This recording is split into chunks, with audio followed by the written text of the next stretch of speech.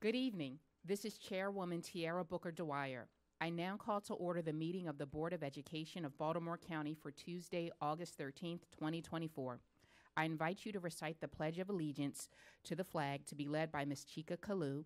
We will then have a moment of silence in recognition of those who have served education in Baltimore County.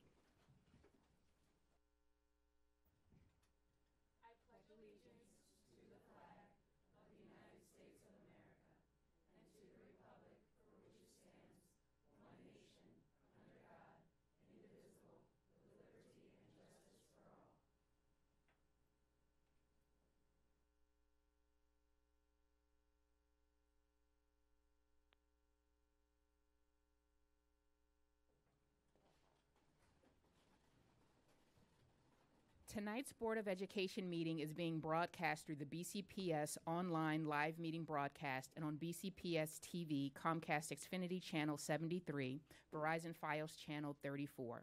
In order to efficiently conduct this meeting, all voting items will be done by roll call vote. The first item on the agenda is consideration of the August 13th agenda. Dr. Rogers, are there any additions or changes to tonight's agenda? I'm unaware of any changes to this evening's agenda. The, the agenda stands. Hearing none, the agenda stands as presented.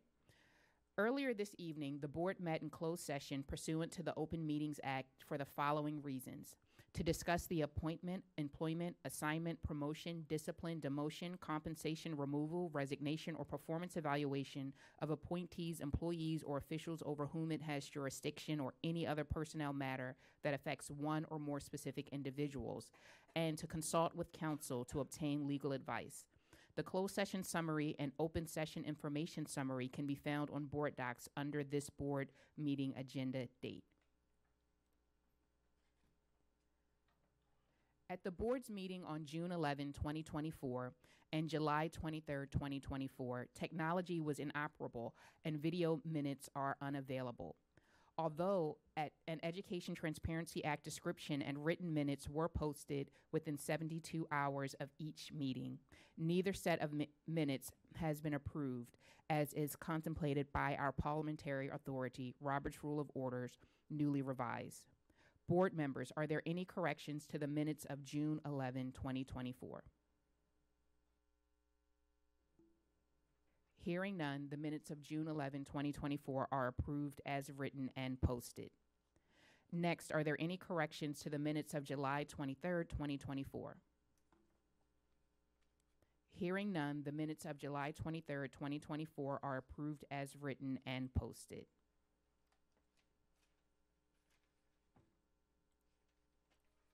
The next item on the agenda is personnel matters, and for that, I call on Mr. McCall.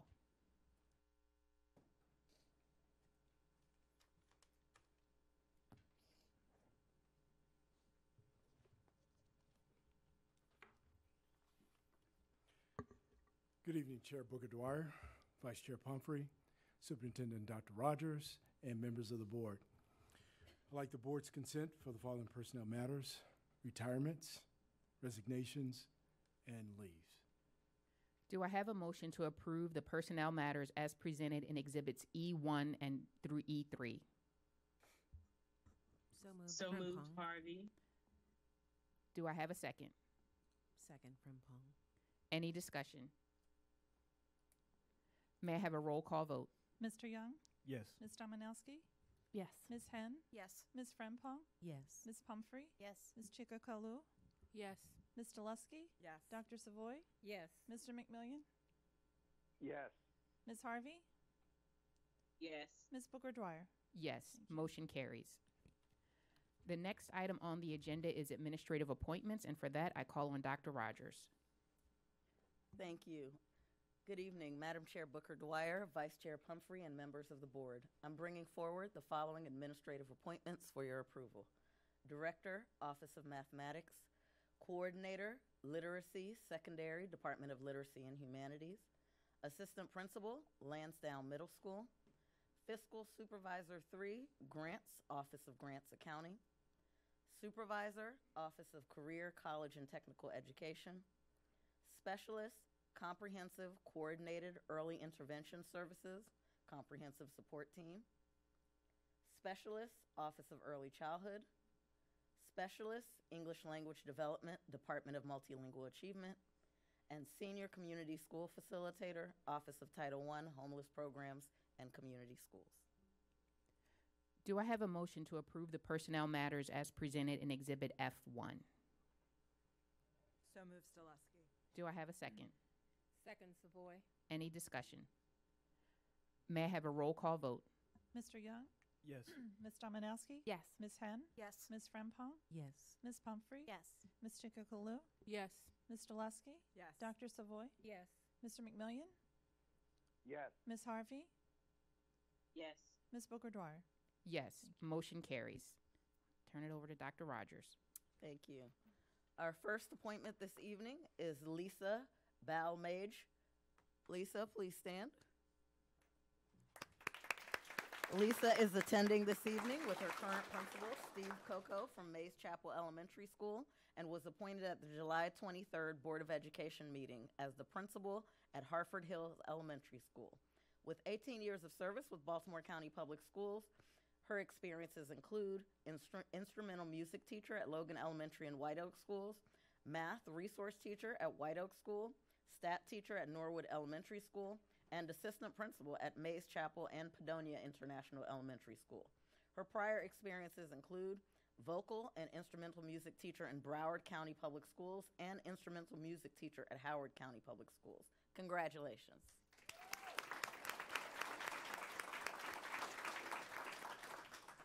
Our next appointment is Madison Bressler.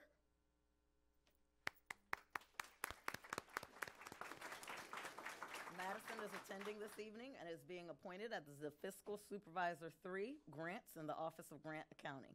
Her previous experiences include staff accountant at Park Circle Investment Firm, staff accountant, senior accountant, and controller at Allstate Leasing at Mile One Auto Group, and accounting manager at Care First Blue Cross Blue Shield. Congratulations and welcome to BCPS. Our next appointment is Daniel Cheney. Daniel is attending this evening with his sister Erica and is being appointed as the specialist in the Office of Early Childhood.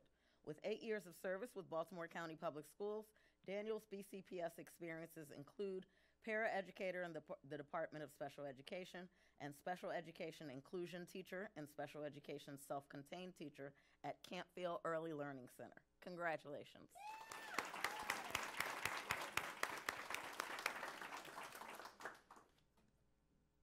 Our next appointment is Rachel Goisevich. Rachel? Rachel is attending this evening with her daughter Isabel and is being appointed as the coordinator, literacy secondary in the Department of Literacy and Humanities. With 17 years of service with Baltimore County Public Schools, her previous experiences include English teacher at Dundalk High and Dulaney High Schools, resource teacher in the Department of Academics, and specialist disciplinary literacy in the Department of Literacy and Humanities. Congratulations.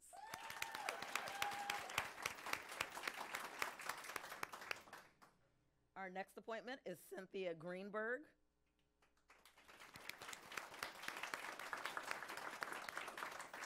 Cynthia is attending this evening with her current principal, Rob Covert, from Hereford High School, and her close friend, Nicole Bridges, and is being appointed as the director in the Office of Mathematics. With seven years of service with Baltimore County Public Schools, Cynthia's BCPS experiences include math teacher at Towson High School and assistant principal at Hereford High School. Cynthia's prior experiences include math teacher in Pinellas County Public Schools. Congratulations.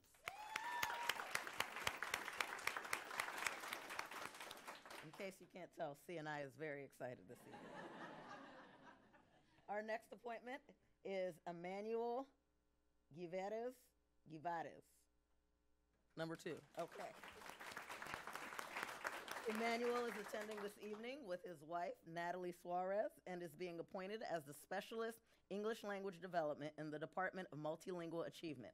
His previous experiences include English teacher and conversational English teacher in Puerto Rico, and ESOL teacher and English Language Development resource teacher in Montgomery County Public Schools.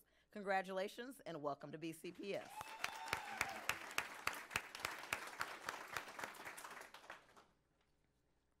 Our next appointment is Rachel Hardesty.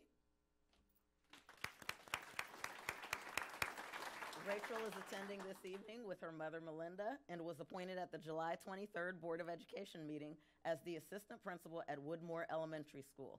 With 10 years of service with Baltimore County Public Schools, Rachel's experiences include classroom teacher at Scotts Branch Ele- Elementary School and special education inclusion teacher at Scotts Branch Elementary and Woodmoor Elementary Schools. Congratulations.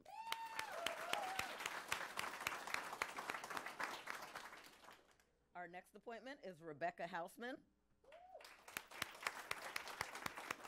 Rebecca is attending this evening with her husband, Rain Hausman, and was appointed at the July 23rd Board of Education meeting as the Specialist English Language Arts School Improvement in the Department of Literacy and Humanities.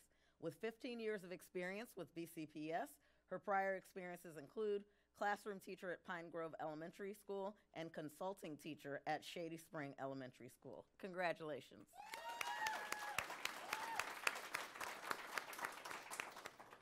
Our next appointment is Stephen Jasper.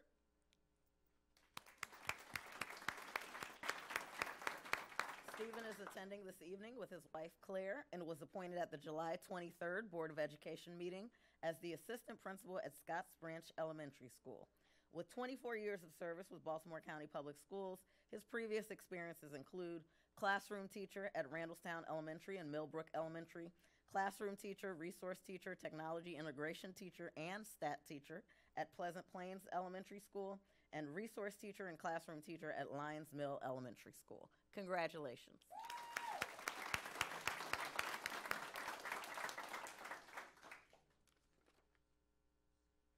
Our next appointment is Shakia Johnson.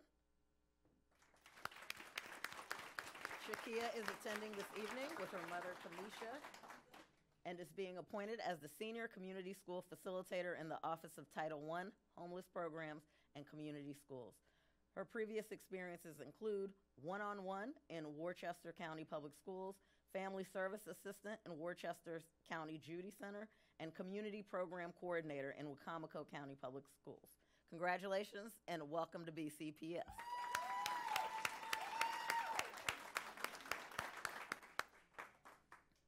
Our next appointment is Catherine Kent.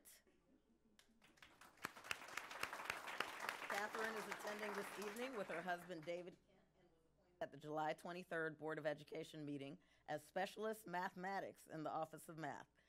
Her experiences include mathematics teacher in Orange County, Fulton County, Fridland, Princeton City, and Howard County Public Schools, mathematics teacher in Frisco Independent School District, special education teacher at Calvin Academy, and manager of school partnerships at Carnegie Learning.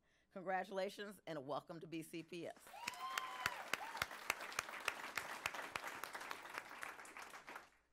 Michaela Koch.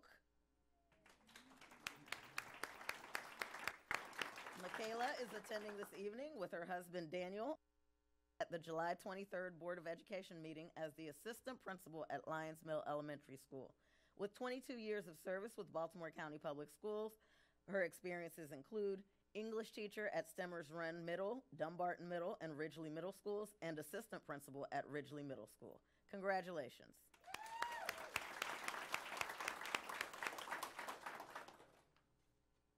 Our next appointment is Terry Lewis. Terry Lewis is attending this evening with her daughter, Taylin Lewis, a rising senior at Milford Mill, and was appointed and was appointed at the July 23rd Board of Education meeting as the assistant principal at Lyons Mill Elementary School. With 25 years of service with Baltimore County Public Schools, her previous experiences include classroom teacher at Old Court Middle, Newtown Elementary, Randallstown Elementary, and Woodholme Elementary Schools, reading teacher at Old Court Middle School, English teacher at Southwest Academy, Pikesville Middle School, and Northwest Academy of Health Sciences, staff development teacher at Deep Creek Middle School, and consulting teacher at Lyons Mill Elementary School. Congratulations. Our next appointment is Erica Lundy.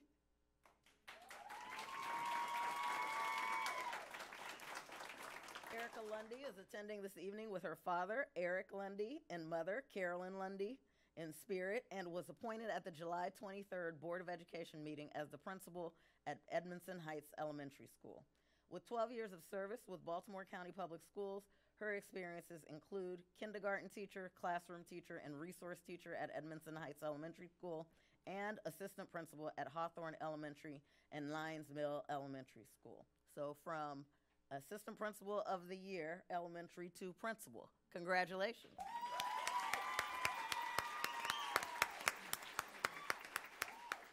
Our next appointment is Catherine Rice. Catherine is attending this evening and is being appointed the, as the assistant principal at Lansdowne Middle School. With eight years, with eight years of service with Baltimore County Public Schools, her previous experiences include mathematics teacher at General John Stricker Middle School and staff development teacher at Stemmers Run Middle School. Prior to that, she served as a math and reading resource teacher in the District of Columbia Public Schools, teacher at Guahan Academy Charter School, and elementary teacher in Fairfax County Public Schools. Congratulations.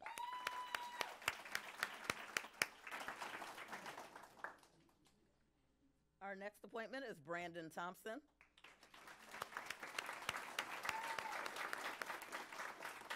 Brandon is attending this evening with his wife, Charlie Thompson, and son, Legend Thompson, and was appointed at the July 23rd Board of Education meeting as the assistant principal at Sparrows Point Middle School. With 10 years of service with Baltimore County Public Schools, his prior experiences include social studies teacher at Dundalk Middle and Pikesville Middle Schools. Prior to that, he was a social studies teacher at Hartford County Public Schools. Congratulations.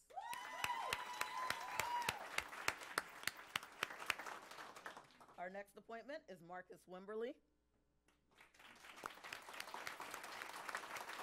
Marcus is attending this evening and was appointed at the July 23rd Board of Education meeting as the Student Conduct Hearing Officer in the Office of School Climate and Culture. Welcome.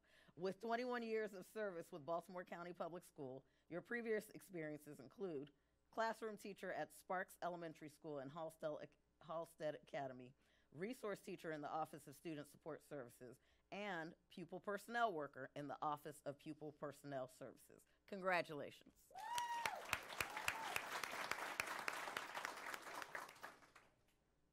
Our next appointment is Harry Wujek.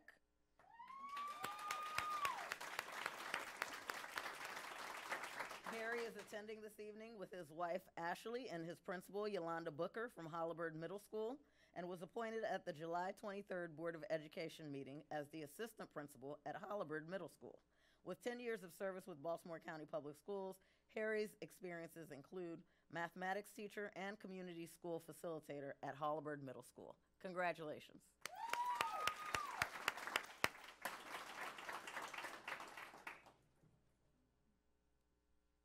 Our next appointment is Ruth Ackers. She is watching virtually from home. Ruth is being appointed as a supervisor in the Office of Career, College, and Technical Education. With 25 years of service with Baltimore County Public Schools, Ruth's experiences include middle school teacher and technology education teacher at Catonsville Middle School, technology education teacher at Chesapeake High School, science teacher and technology education teacher at Sollers Point Technical High School, and resource teacher in the Office of Career, College, and Technical Education. Congratulations, Ruth.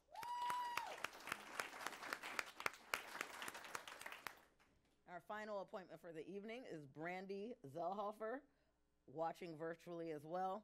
Brandy is being appointed as the Specialist Comprehensive Coordinated Early Intervention Services in the Office of Early Childhood. With 10 years of service with Baltimore County Public Schools, her experiences include special education, self-contained teacher, and social emotional learning teacher at White Oak School. Congratulations, Brandy. Congratulations to all of our. Thank you, and congratulations to you all. I know you're going to do wonderful things for Baltimore County Public Schools. Our next item is public comment. This is one of the opportunity the board, opportunities the board provides to hear the views and receive the advice of community members. If not selected to address the board, members of the public may submit their comments to the board via email at boe at bcps.org. The Baltimore County Police Department's Homeland Security Unit and Office of School Safety has recommended safety and security protocols which are posted in the boardroom and available in board docs and on the board's participation by the public website. While we encourage public input on policy programs and practices within the purview of this board and this school system, this is not the proper forum to address specific student or employee matters or to comment on matters that do not relate to public education in Baltimore County. Inappropriate personal remarks or other behavior, such as language that promotes violence against a BCPS employee or that disrupts or interferes with the conduct of this meeting, are out of order and will not be tolerated. Persons who, who otherwise disrupt or disturb this meeting will not be allowed to continue their remarks and will be escorted from the meeting. Please observe the three minute clock, which will let you know when your time is up. The microphone will be turned off at the end of your time or prior to that at the discretion of the board chair. We will begin our public comment with our nonprofit community groups. And for that, I call Ms. Cole from the Baltimore County Education Justice Table.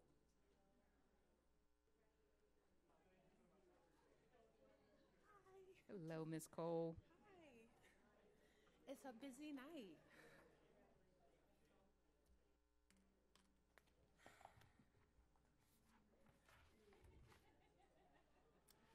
Okay. Um, good evening, everyone. Uh, happy to see you at the end, beginning of the school year, I guess. Um, I'm Nikki Cole with the Baltimore. Oh, I'm so sorry. I always forget to do this. Good evening, Dr. Rogers. Chair Booker Dwyer um, and Christina Pumphrey, and everyone amazing with the Baltimore County Public School Board. Good to see your faces.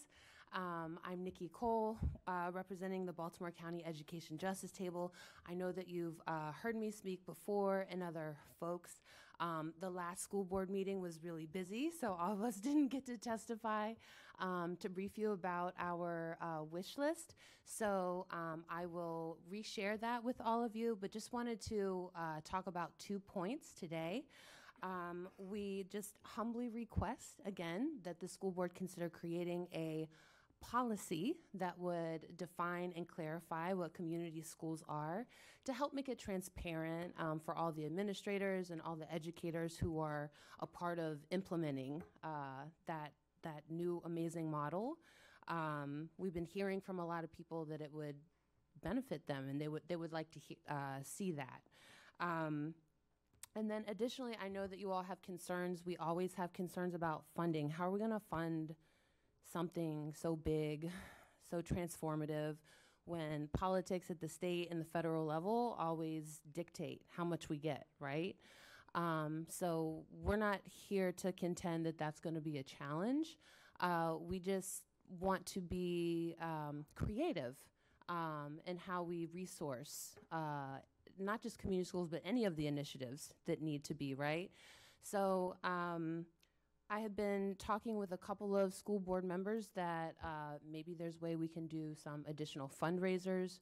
Maybe we can contract with a capital campaign firm. Um, Maryland has a lot of really wealthy people that deeply believe in education, including here in Baltimore County.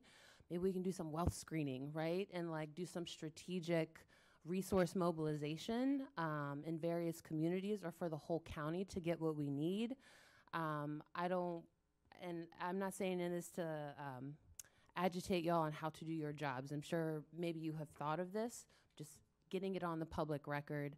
Um, and also thinking creatively about what other additional capacity grants there may be. Um, just exploring all levels, want to be creative partners with y'all. Um, that's really it for today. Thank you so much for your time and appreciate all of your leadership. Thank you, Ms. Cole. Next, we will go to our individual citizens or students, and our first speaker is Ms. Saroff.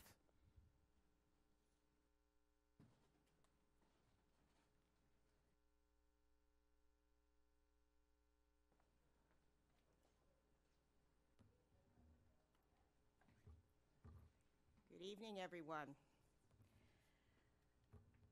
Our school year is fast approaching, and I am very concerned about the services that our students with disabilities will be receiving, or should I say, not receiving. The summer's uh, ESY services to many students was appalling. Many students did not have the support required on their IEP because the support assigned to an entire school was a support of one. That's not appropriate. In some instances, some students were assigned to inappropriate classrooms. You simply cannot take a child from a behavior learning support class and dump them in a general education classroom. That's what was going on this summer. That is not acceptable. That is not ESY. IEPs are legal documents.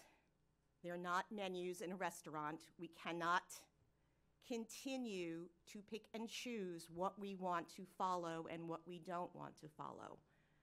I am hearing from teachers and parents and students themselves that their IEPs are not being followed, that they're not getting the proper support. And administrators are telling parents, oh, but we have the support. Again, one person in a whole school building does not equal proper support. And that's what I was seeing this summer in a number of the elementary schools, the middle schools, across the county. I'm also going to bring up the fact that 504s are not being followed either, particularly in the middle school.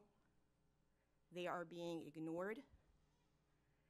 And parents' rights, if parent asks for an IEP meeting, they can't get it. I'm not asking you to make my job go away. I'm asking you to do your job because I'm doing mine. This needs to be fixed.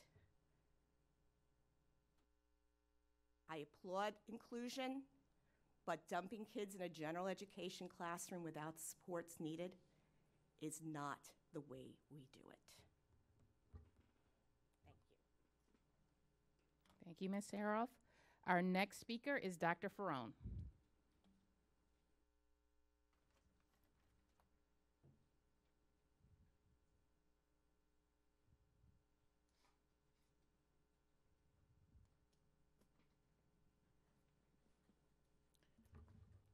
Evening to- all of you. Um, do you know why the public does not donate to the school system beyond taxes like they do to GBMC, St. Joseph, etc.? I think because school administration does not really answer the public questions, concerns, emails because the public cannot really speak directly to you and to the superintendent. Now, kudos for you, Dr. Rogers, for mingling with the new teachers, but I think the school system from the top down needs to communicate with the media and with the public like myself. There are other reasons that I see. There is a focus on appeasing special interest rather than really to focus on the quality of education. And the instance of that and others, uh, as you know, that in last meeting, um, I was ejected out for standing up and recording a video of the board in heated discussion, while many other people do the same, including today. Some of the people in the in back behind me were taking videos and standing up and making noise and so forth. So, what I read is that the guidelines for security given to you are guidelines.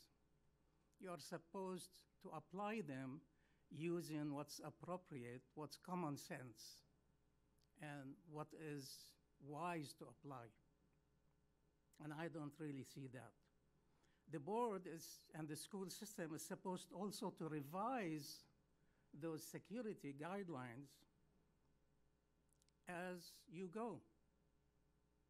Standing up to stretch the legs in a four hour meeting like July 9th, or to relieve pain in, or to get circulation better, or standing up to take a video of an interesting discussion to advertise for it and for you, the school system, on my Facebook is not a crime, is not something wrong to do. I think item number, uh, number four, for you, the board, is you are committed for community engagement. I really don't think you are committed to community engagement if you don't answer your emails. Thank you, Dr. Farone. Since we have speaker space left, we will go to our next individual citi- citizen, Miss Bergman.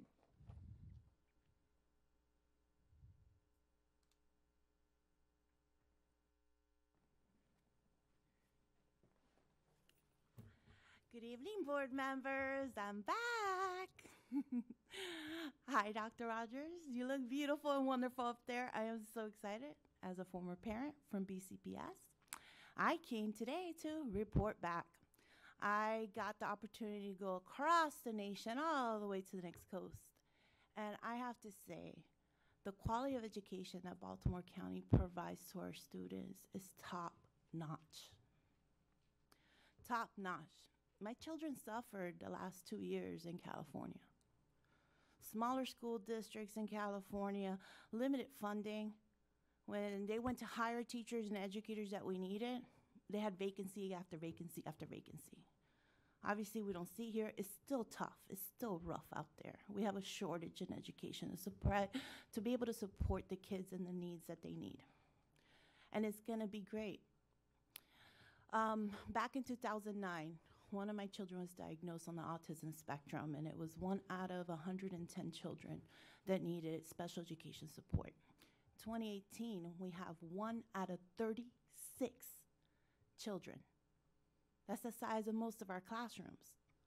And the one of the most challenging thing is not just hiring warm bodies to educate children that need special attention, that have these tremendous challenges, but to be able to have quality people provide a quality education. And I know a lot of people want to give Baltimore County a hard time. Ah, we're not doing enough in Maryland. We're not doing enough in Maryland. Well, you know what? If you leave Maryland, you go elsewhere, you're going to see how much we're doing in Baltimore County. Because the quality of service and education that we're providing children is absolutely uh, amazing. My children were both like, Mom, can we go back to Maryland? Can we go back to Maryland? We're not learning enough here. The curriculum, the quality of teaching.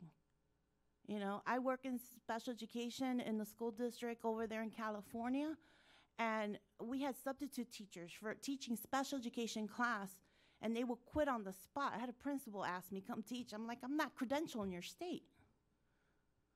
So to have warm bodies, quality teachers, quality educators that have a history, we're doing something right. As hard as times are, Baltimore County is doing something right.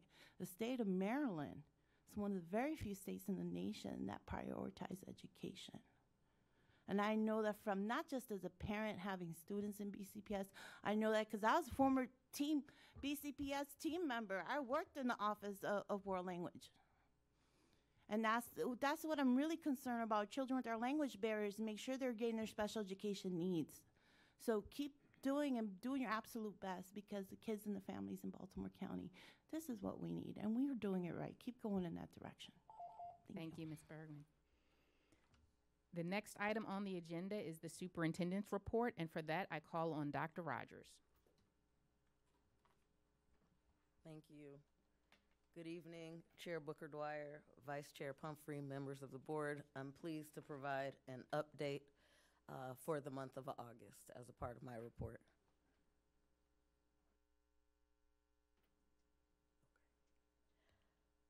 First thing is, I want everybody to know that it has been an incredibly busy summer. Um, even though the 111,000 students have uh, left us for a short period of time. Uh, staff members across Team BCPS have been working throughout the summer to prepare for the return in students, which is in less than two weeks. This slide, I'm not going to review everything. This slide uh, depicts just some of the work that has been happening across divisions, across offices. A lot of work around content and pedagogy, professional learning for our teachers, our teacher leaders, our administrators, our central office leaders um, has been taking place making sure that we're providing new educator orientation, which the kickoff began yesterday. We had 679 new educators attend uh, that orientation. Um, more that we had facilities capital projects at 61 schools with another 21 additional special projects. So the work of facilities, uh, maintenance, logistics is ongoing. We're excited to open two brand new schools in two weeks an elementary school and a middle school, reviewing the grading and reporting processes. Uh, the feedback that we received from our stakeholders uh, made us prioritize this, and so we're excited about some new guidance that's coming out to our families over the next two weeks. Our summer uh, meals program fed more than, uh, provided more than 42,000 meals and uh, for our families, including our rural new program that was at Kingsville and Sparks Elementary Schools uh, budget training for central office leaders as well as principals, a new principal and new assistant principal academy. We're excited this Saturday at our BCPS Fest. We're going to have a vaccination clinic for the first time ever because we want all of our students in class, in school, on time on August 26th. A new social media work group. Um, to really focus on the impact of social media in our schools and how we can um, help our uh, staff and students with that. Our partnership fair this year had more than um, 80 partners. I believe we had 86 partners um, attend the partnership fair and curriculum writing that occurred this summer. Um, we had five different hiring events. I would be remiss if I didn't highlight this with more than 490 attendees, and this will be important in one of the um, upcoming slides.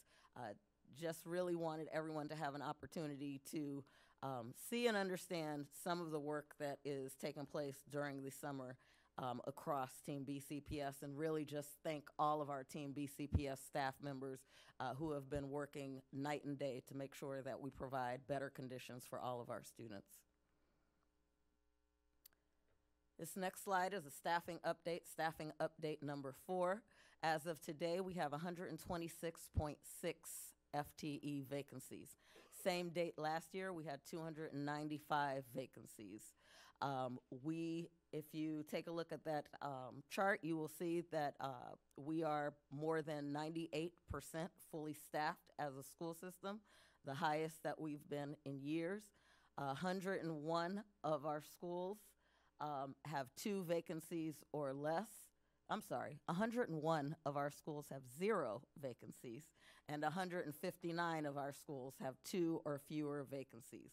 And so we're really excited about this work that's happening in human resources and in schools. Um, we have even partnered with uh, radio station iHeartRadio as well as a television station to run um, commercials. And we are going to put in a shameless plug, take 30 seconds and run the video for anyone who's watching this board meeting. If you too would like a position in BCPS, come on down. Attention. Are you looking to make a difference in the lives of our children? Baltimore County Public Schools wants you. Well, I've been a teacher now for 19 years, and I love every day of my job. I love working with children.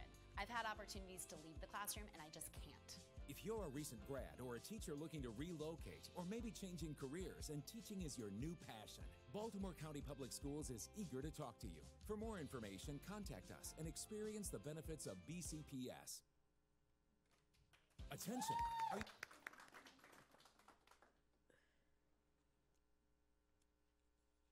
So that work remains ongoing.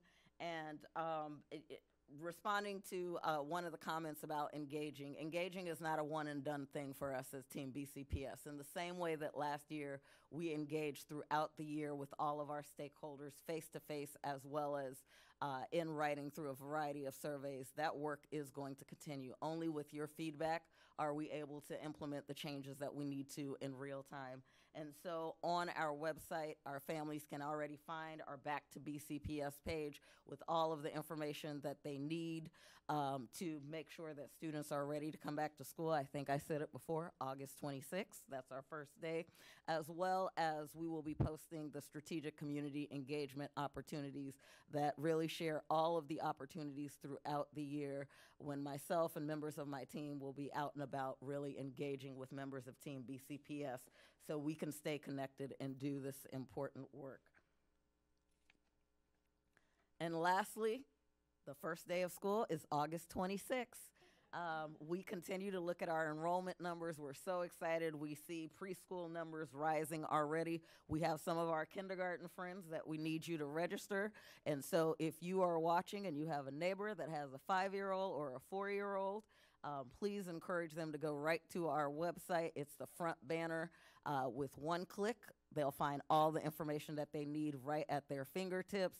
If the uh, website is too difficult to navigate, we encourage you to just call your neighborhood school right away um, to schedule a meeting and someone will walk you through the process. We're really excited about our students returning um, and experiencing high quality teaching and learning in all of our schools. And so, with that, um, thank all of you for your time.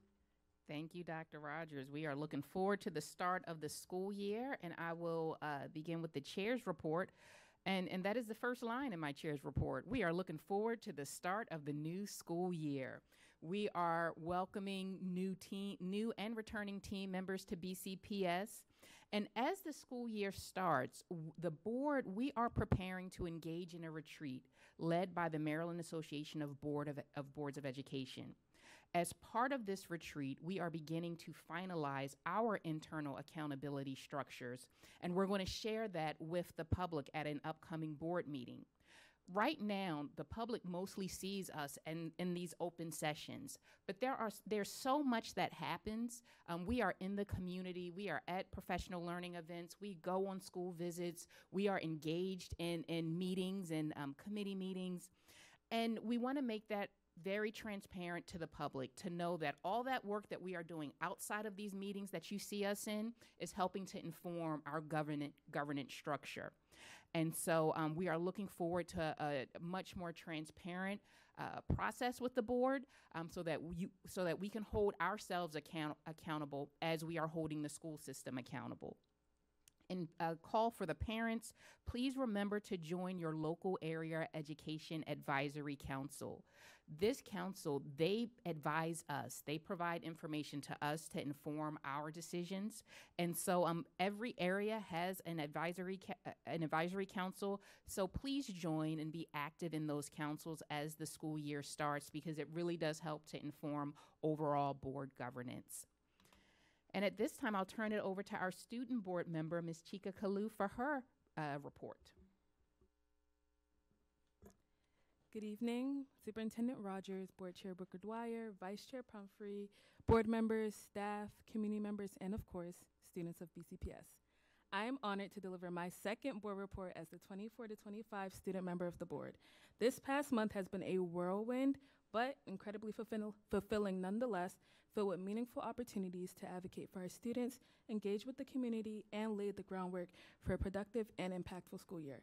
I'm eager to share the strides I've made and, outline, and outline the work that lies ahead as we continue to strive for excellence.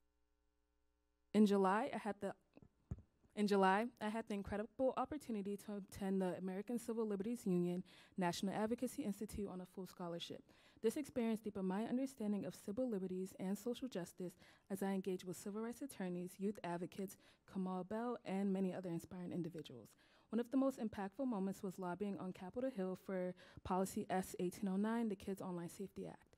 During this time, I met with Representative Raskins and the staff of Senator Chris Van Hollen, where we advocated for critical revisions to ensure it truly protects marginalized communities who view online spaces as essential for disseminating information.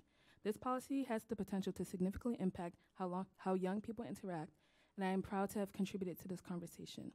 I also had the pleasure of visiting the Woodlawn Middle School summer site and the Cannonsville Multilingual Learning Center.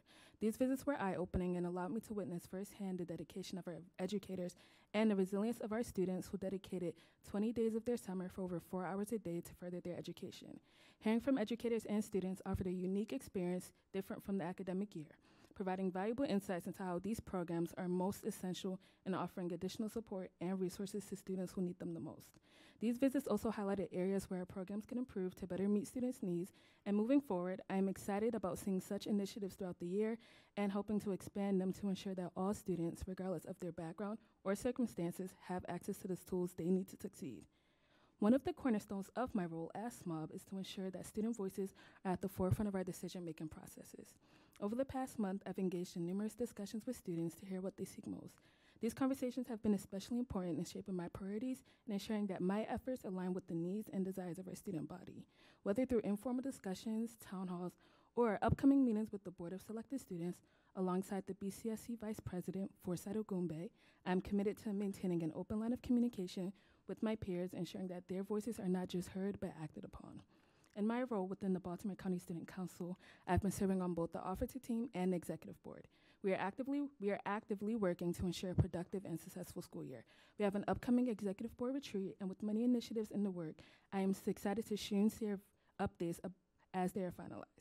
In preparation for the new academic year, I am working closely with BCPS TV to develop and launch back to school campaigns and videos. These campaigns aim to foster a sense, of, a sense of community and excitement as we near a new academic journey. My goal is to ensure that every student feels welcome, supported, and inspired as they return to school, while also reaching every corner of our student population to inform them about the role of the SMOB and introduce myself as their representative this year. Yesterday, I attended the Maryland Association of Board of Education new, studi- new Student Board Member Orientation, where I gained valuable tools and knowledge to navigate the complexities of board governance and increase my involvement regarding Maryland state, legis- state legislation pertaining to education. I'm also excited to share that I will serve as a student panelist during MABE's annual retreat in October, where I will further advocate for student perspectives and provide Board of Education members the student voice in our conversations. As a member of the Maryland Association of Student Councils Executive Board, I attended the MASC Advance, a three day retreat where we gathered to receive our workshop presenter certifications and engage with student leaders across the state. Our discussions focused on how to effectively communicate our goals and missions to enhance student voice, voices across Maryland. One of the most exciting outcomes of this orientation is the collaboration I have begun with the state SMOB, Abby Gotham. Together, we are developing a workshop for the Fall Leadership Conference titled Working with Adults as a Student Leader. This workshop will address the unique dynamics that student leaders face when interacting with adults, offering strategies for effective communication, advocacy, and leadership. I'm extremely excited to bring the insights from these meetings back to BCPS and collaborate with student leaders in our district. In addition to my collaborations with Abby, I've been actively connecting with SMOBs from other districts across the county. These connections with over 20 Maryland SMOBs have provided me with a wealth of perspectives and ideas that I'm eager to integrate into our work here in BCPS. One specific action I will be taking is attending the Carroll County, Carroll County Board meeting, which is tomorrow, where I will speak during public comment as an individual to advocate for increased student board representation and rights for student board members. In Carroll County, the student representative on the board, who has yet to be recognized as a full colleague or member, only has the power of an honorary vote, which is contingent on the approval of other board members. Additionally, they are not allowed to have a student advisory council or conduct school visits, critical aspects of effectively serving as a student board member and representing students' needs. It is only because of the collective efforts of past SMOBs such as Christian Thomas, Rawa Hassan, Halima Adekoya, Omar Rashid, and many others that I have the privilege of sitting here today as a voting member, even on budgetary matters, a privilege many SMOBs across the state do not have. However, this privilege is not meaningful if I do not use it to advocate for my fellow student board members. I'm committed to uplifting and strengthening our community of SMOBs across the state, state, ensuring that students from all regions of Maryland, not simply Baltimore County, are heard. While the journey to securing full rights and representation for all SMOBs across Maryland will be long, I, alongside my fellow SMOBs, am ready and prepared to champion this cause and pass along the torch of change. By building a network of student leaders, we aim to amplify our voices and work collaboratively towards common goals. So as we move forward, my focus remains on fulfilling the promises I made to BCPS students during my campaign, These include working to ensure every student, regardless of their background, has the resources they need to thrive, supporting BCPS as we enhance and evaluate student mental health support, recognizing the unseen brilliance within our county, promoting our academic excellence, and fostering a school culture where students are seen as holistic individuals, not only academically. So, in, in closing, I want to express my deepest gratitude to the board, the BCPS community, and most importantly, the students who have entrusted me with this responsibility once again. The work, we, the work I've done over this past month is just the beginning. As we continue to move forward, I'm committed to fulfilling my promise that every student's voice is heard and that every piece of the puzzle is valued and will be fully represented in my work on the board.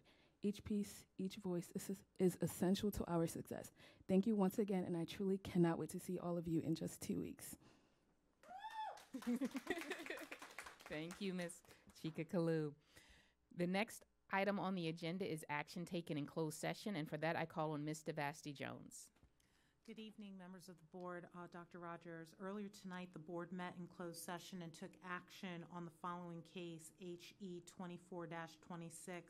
Now would be an appropriate time for, to confirm the action that was taken at that time by the board.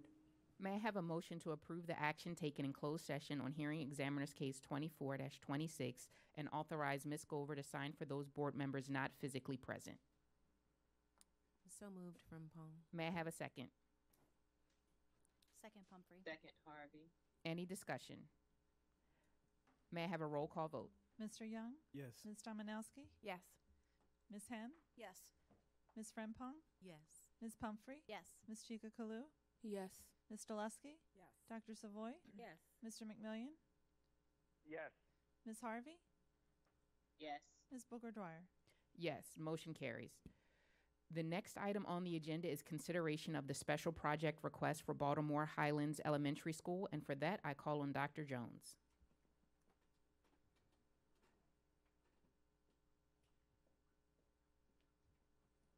Good evening. Good evening, Board Chair Booker Dwyer, Vice Chair Pumphrey, and Superintendent Dr. Rogers. I bring before you the consideration of a 7330 special project for Baltimore Highlands Elementary School. As always, our 7330 process is done in collaboration with Dr. Grimm, Chief Operating Officer, and his um, team in the Department of Facilities. Upon approval and in collaboration with the Baltimore County Foundation, Permission is being sought to plant a community garden with two locations at Baltimore Highlands Elementary School. The community garden will have one location, which is in, in the fenced courtyard, and all gardening will be organic methods with the use of, with, without the use of pesticides and herbicides. The second site will be outside of the gated area along the perimeter of the breezeway, and this garden will consist of native grasses, shrubs, and wildflowers. Wildflowers, whew, and will not require any raised beds or changes to the landscape. Again, I bring before you for the recommended action of approval of the 7330 project for Baltimore Highlands Elementary School Community Garden.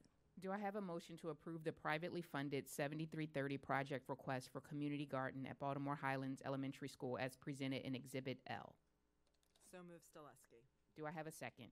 Second, Savoy. Any discussion? May I have a roll call vote? Mr. Young? Yes. Ms. Domanowski? Yes. Ms. Henn? Yes. Ms. Frempong? Yes. Ms. Pumphrey? Yes. Ms. Chika Kalu? Yes. Ms. Stolusky? Yes. Dr. Savoy? Yes. Mr. McMillion? Yes. Ms. Harvey? Yes. Ms. Booker Dwyer? Yes, motion carries. Thank you on behalf of the you. students at Baltimore Highlands Elementary School. Thank you. The next item on the agenda is contract awards, and for that, I call on Mr. Young, Chair of the Building and Contracts Committee. Members of the board, the board's Building and Contracts Committee met on Monday, August 12, 2024. Items M1 through M13 were forwarded to the board for full approval. Thank you, Mr. Young. Board members, are there any separation requests? Do I have a motion to approve items M1 through M13? So moved. No second is needed since the recommendation comes from committee. Any discussion? Ms. Frempong? So I had raised my hand, so I did have questions on M2, M8, and M10. What are your, so let's start with M2. What are your questions on M2? So for M2, this is the um, contract about the industry recognized certifications. Um, and so just was asking questions about the programs themselves. So, which schools have these CTE programs? I mean, is it across the board, and are they uniform as well across the board for these schools that have the programs?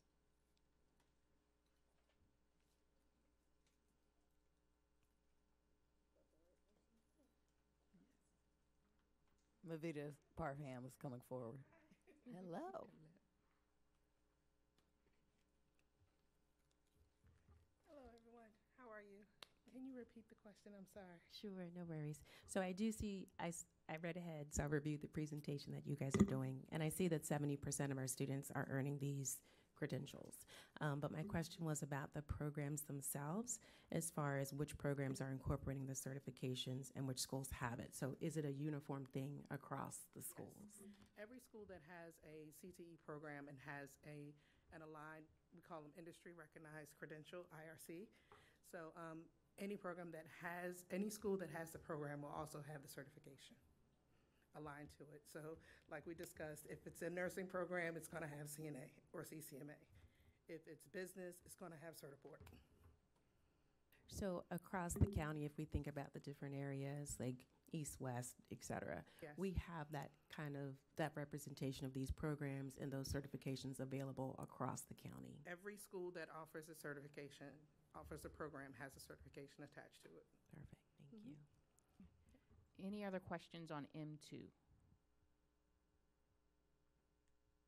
Thank you, Ms. Parham. You're welcome. Uh, What are your questions on M8? So M8 is our bottled water services, and I'm not against the contract. Uh, the question just is, so this one is a five-year, $6 million, um, and it's for the 87 uh, public schools. So do we have a plan and timing to address those schools um, as far as the bottled water, the dispensers, and the coolers, so that it's not required? Or are we expecting in, thank you, in 2029 that we're going to spend, continue to spend? Because we've already done this as well for three years and four months, spending 3,000, or I'm sorry, three, about 3 million. If I could start, and then Dr. Grimm will um, continue. Um, I'm sure Dr. Grimm will give you this. This was one of the ones that we always take a look at. He will give you the um, specifics in terms of, um, uh, you know, what changes have been made. This everybody has the historical context for where uh, the bottled water came from. Uh, but uh, in the past, when there have been um, there has been strong support to keep the bottled water in schools. I guess that's the shortest way that I can put it. Um, if this uh, board wants to indicate otherwise, you know, we're, we're certainly open to receive that uh, feedback. But there has been historical, very strong support to keep the bottled water in schools. We do have some schools that have the filters or the bottle fillers um, and things of that nature. But there, there's also um, a, a deep history of keeping the water bottles in schools. Uh, but Dr. Grimm, if you want to speak to uh, the technical aspects or anything that I've missed, please do so. Certainly. So, good evening, Ms. Frempong and members of the board. Um, so, we are required by the state, as you know, to test all of our water. Presently, we have 87 of our school facilities that do not meet the acceptable level at the state. Um, we are constantly monitoring that acceptable level. So, why, while it was 87 in July, that number could drop or increase over the next you know, next month, uh, six months from now, next year, as we as we go through the testing process, um, because there are a number of vari- variables to the testing that are completed. Um, to be clear, it's not just those school 87 schools where we do provide bottled water. It is in all of those facilities where the, the principal deems it necessary or we don't have the technology in place, as Dr. Rogers said, where we've been able to, um, to install uh, filters and bottle fillers, or they haven't been installed through grant projects or through other means. Um, so I, I hope that clarifies some of the parts of question. In terms of, of so fixing the problem, so to speak, um, there are some facilities because they are um, on wells, for example, the, the type of treatment that we would have to do at the facility that we have um, would not be cost-effective from the standpoint of drinking water versus water that, that is safe for you to wash your hands. Um, so there's a big difference there between treating all of the water and treating just what would be drinking water. Okay? You're welcome. Any other questions on M8? Ms. Stolusky? Thank you. Just a very quick question. Has there been any interest or looking into any grants or sponsorships to just reduce the expense for the school system? Thank you. So that's a great question. We are we are constantly looking for for those types of um, opportunities. Um, as Dr. Rogers alluded to in our our new construction and in our new renovations, um, the bottle the bottle the filters with the water fillers are um, now standard. So you will you will see them in a, in a number of our newly constructed schools and in our renovated schools as well. Um, so that that's a key component. We're constantly looking for opportunities to be able to to upgrade some of those facilities. Um, in some cases, it's just really not cost effective. I know back when I was a principal, we got the bottle fillers in the school that, that I was at, and it was really expensive to retrofit them. And part of that was because we had some additional funding opportunities. Ms. Harvey? Oh, Ms. Stolusky, were you Uh, done your thank you. question? Yeah, okay, yep, Ms. Harvey. Thank you, Madam Chair. I, I just want to just follow up on this um, retrofitting process and assessment. So is it the case that these 87 schools um, are not uh, scheduled to be retrofitted or have challenges with being retrofitted?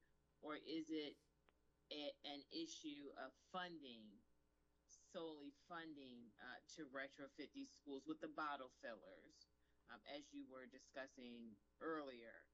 And has there been consideration in terms of the the budget allocation to uh, plan on retrofitting those schools where it may not be as challenging as others while we continue to pursue grants and other funding options?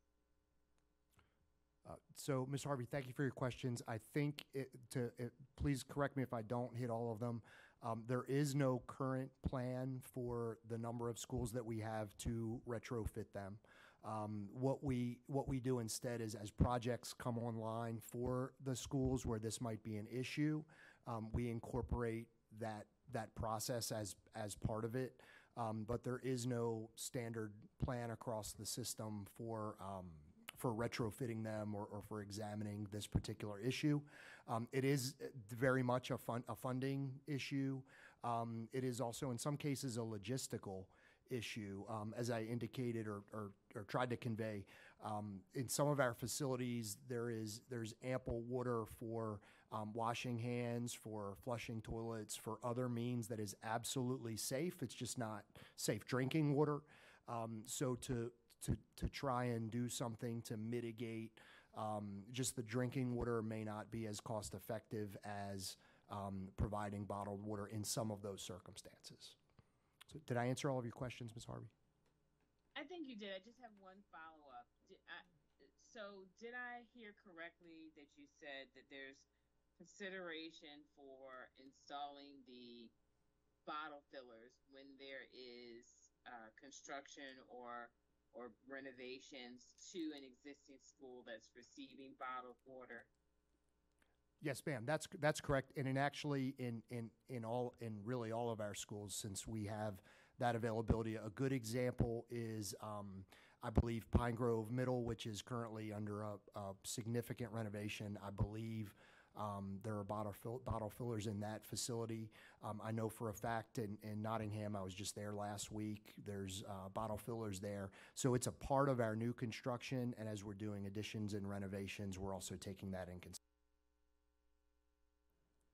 Thank you. You're welcome. Any other questions on M8? Okay, Ms. Frempong, your questions on M10? M10 was just the, the playground equipment um, contract. And so the question is, is this for new or existing schools?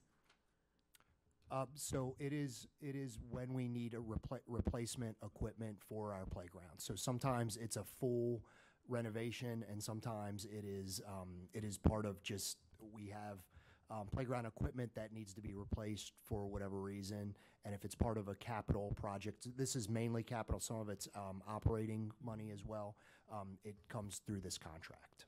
Okay, so then um, how is that prioritized? Because, for example, in, when the advisories will meet in the fall and they do their budgets, a lot of times that's one of the things that comes up is the new playground. So how is that prioritized, and are they, you know, is that information getting back to them so they know the playground is coming? So th- thank you for your question, Ms. Frempong. So playgrounds are um, are one of those issues again that are a little bit more uh, complex, I'll call it, than than not. Um, oftentimes we are we are replacing equipment because it's unsafe. So it might be a, a, a slide or a, a pole or some other apparatus on the playground, or we have to do some other modification. Um, sometimes it's because the equipment has um, worn out its its its safety lifespan, so we need to do a full um, replacement of it.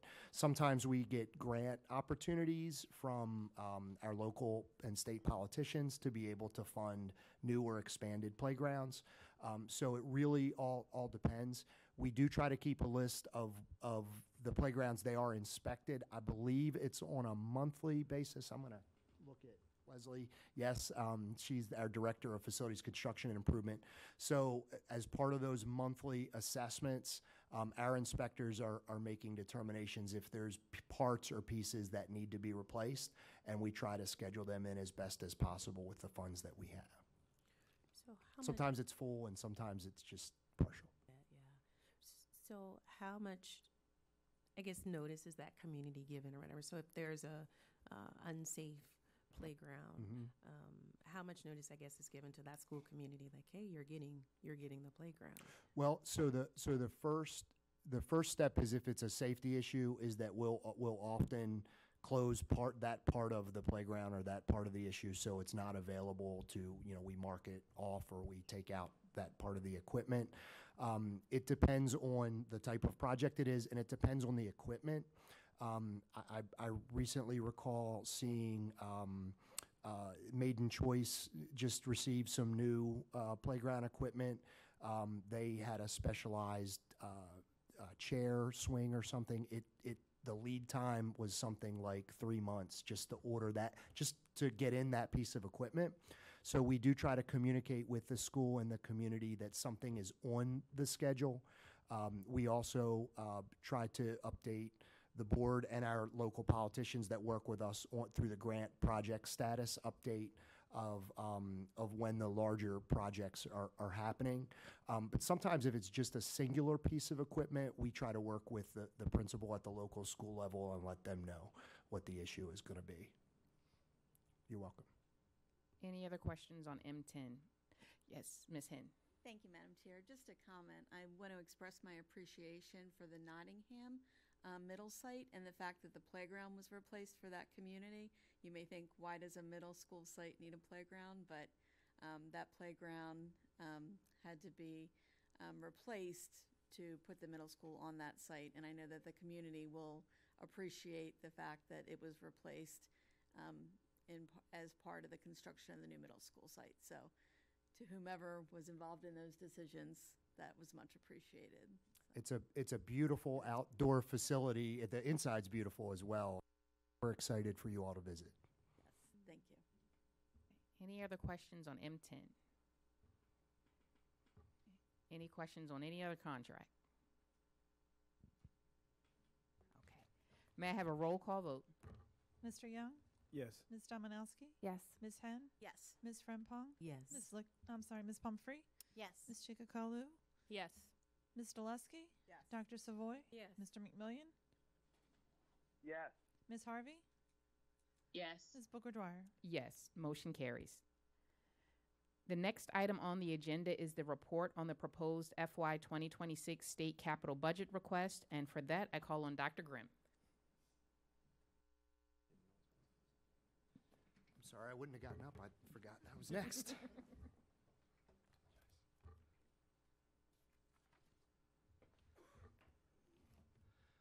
Good evening, uh, Chair Booker Dwyer, Vice Chair Pumphrey, Superintendent Dr. Rogers, members of the board.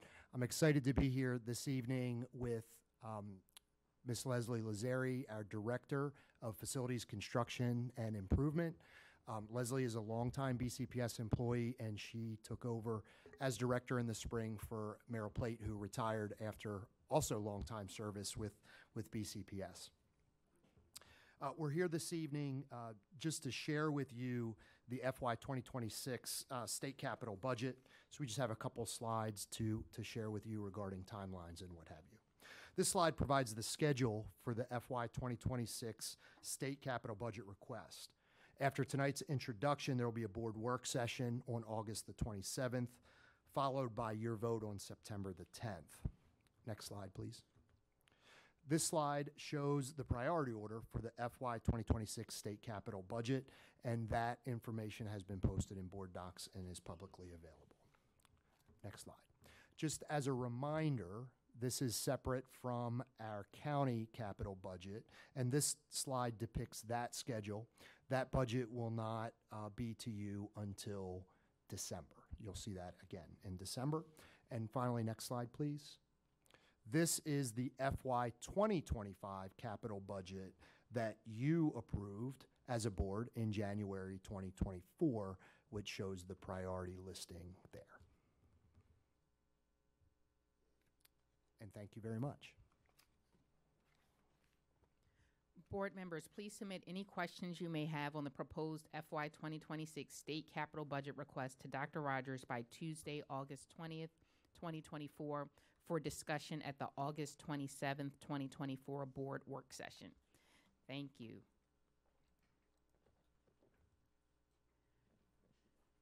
The next item on the agenda is the report on budget, equitable resource allocation model, Title I, comprehensive support and improvement, targeted support and improvement, and community schools. And for that, I call on Dr. Rogers. Thank you.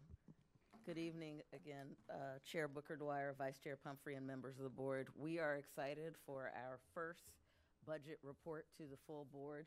The topic of this report is equitable resource allocation, really focusing on Title I, CSI, TSI, and community schools. Uh, this evening, we're joined by our Chief Financial Officer, Chris Hartlove, Director of Community Schools, Melissa Forster, and Director of Title I, TSI, CSI, and Homeless Programs, Michelle Stansberry. Good evening, everyone. Good evening. Good evening. So we'll start with our strategic plan. Um, as we move forward with these budget presentations, uh, it is our goal to uh, really illuminate how these uh, specific presentations are a part of our infrastructure goal. Our goal as a school system to ensure that we have efficient and effective practices in how we are operating internally and externally is a priority of ours. Specifically, when we take a look at the blueprint, there are five pillars that all school systems, as you're aware, are called to move forward uh, no matter what the uh, fiscal landscape is.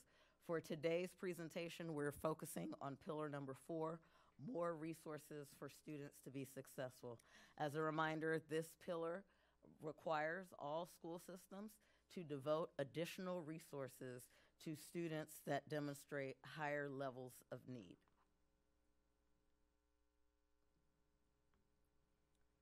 This is a reminder of where we were as we were planning the FY25 fiscal budget. As everyone knows, the ESSER funds expire at the end of September, and as a large school system, uh, that was a significant amount for us. Um, as you see the items falling off the cliff, these are critical investments that our schools system, uh, internal and external stakeholders told us that we needed to keep. Additionally, when we look at the rollout of the percentage of allocation for Blueprint for Maryland's future funding for schools, uh, this this upcoming fiscal year or this current fiscal year has a much smaller percentage than what we have received uh, in the past and what we are slated to receive in the upcoming year. But even with that as the case, we still have a responsibility to all of our students.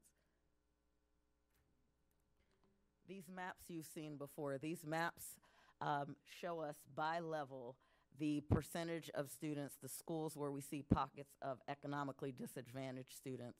And the gradations, the deeper reds, um, indicate areas that are uh, where you find higher percentages, students that are in higher percentage of um, economic uh, need.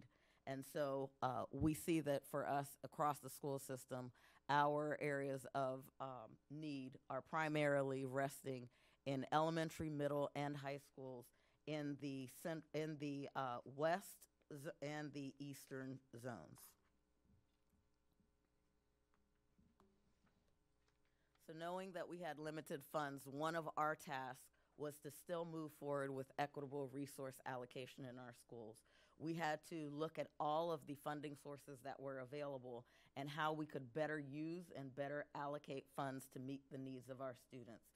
And so this evening's presentation really speaks to grant funding that we have available and how we have changed uh, the way that we are uh, allocating those funds to meet the needs of students. When we talk about resource equity, we want to level set and make sure that everyone is clear that we're talking about how we allocate the use of resources, people, time, and money.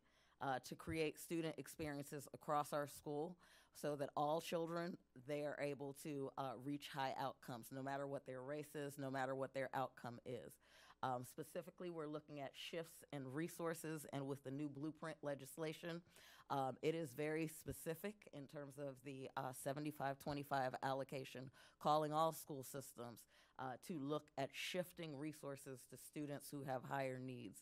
Um, are, what are our structures and practices that allow for all of our students um, particularly those furthest from opportunity to attend a school where they can learn and thrive. And we are really looking at how do we braid all of our resources together to create a high performing system for every school, every student, uh, to ensure that they're ready for tomorrow.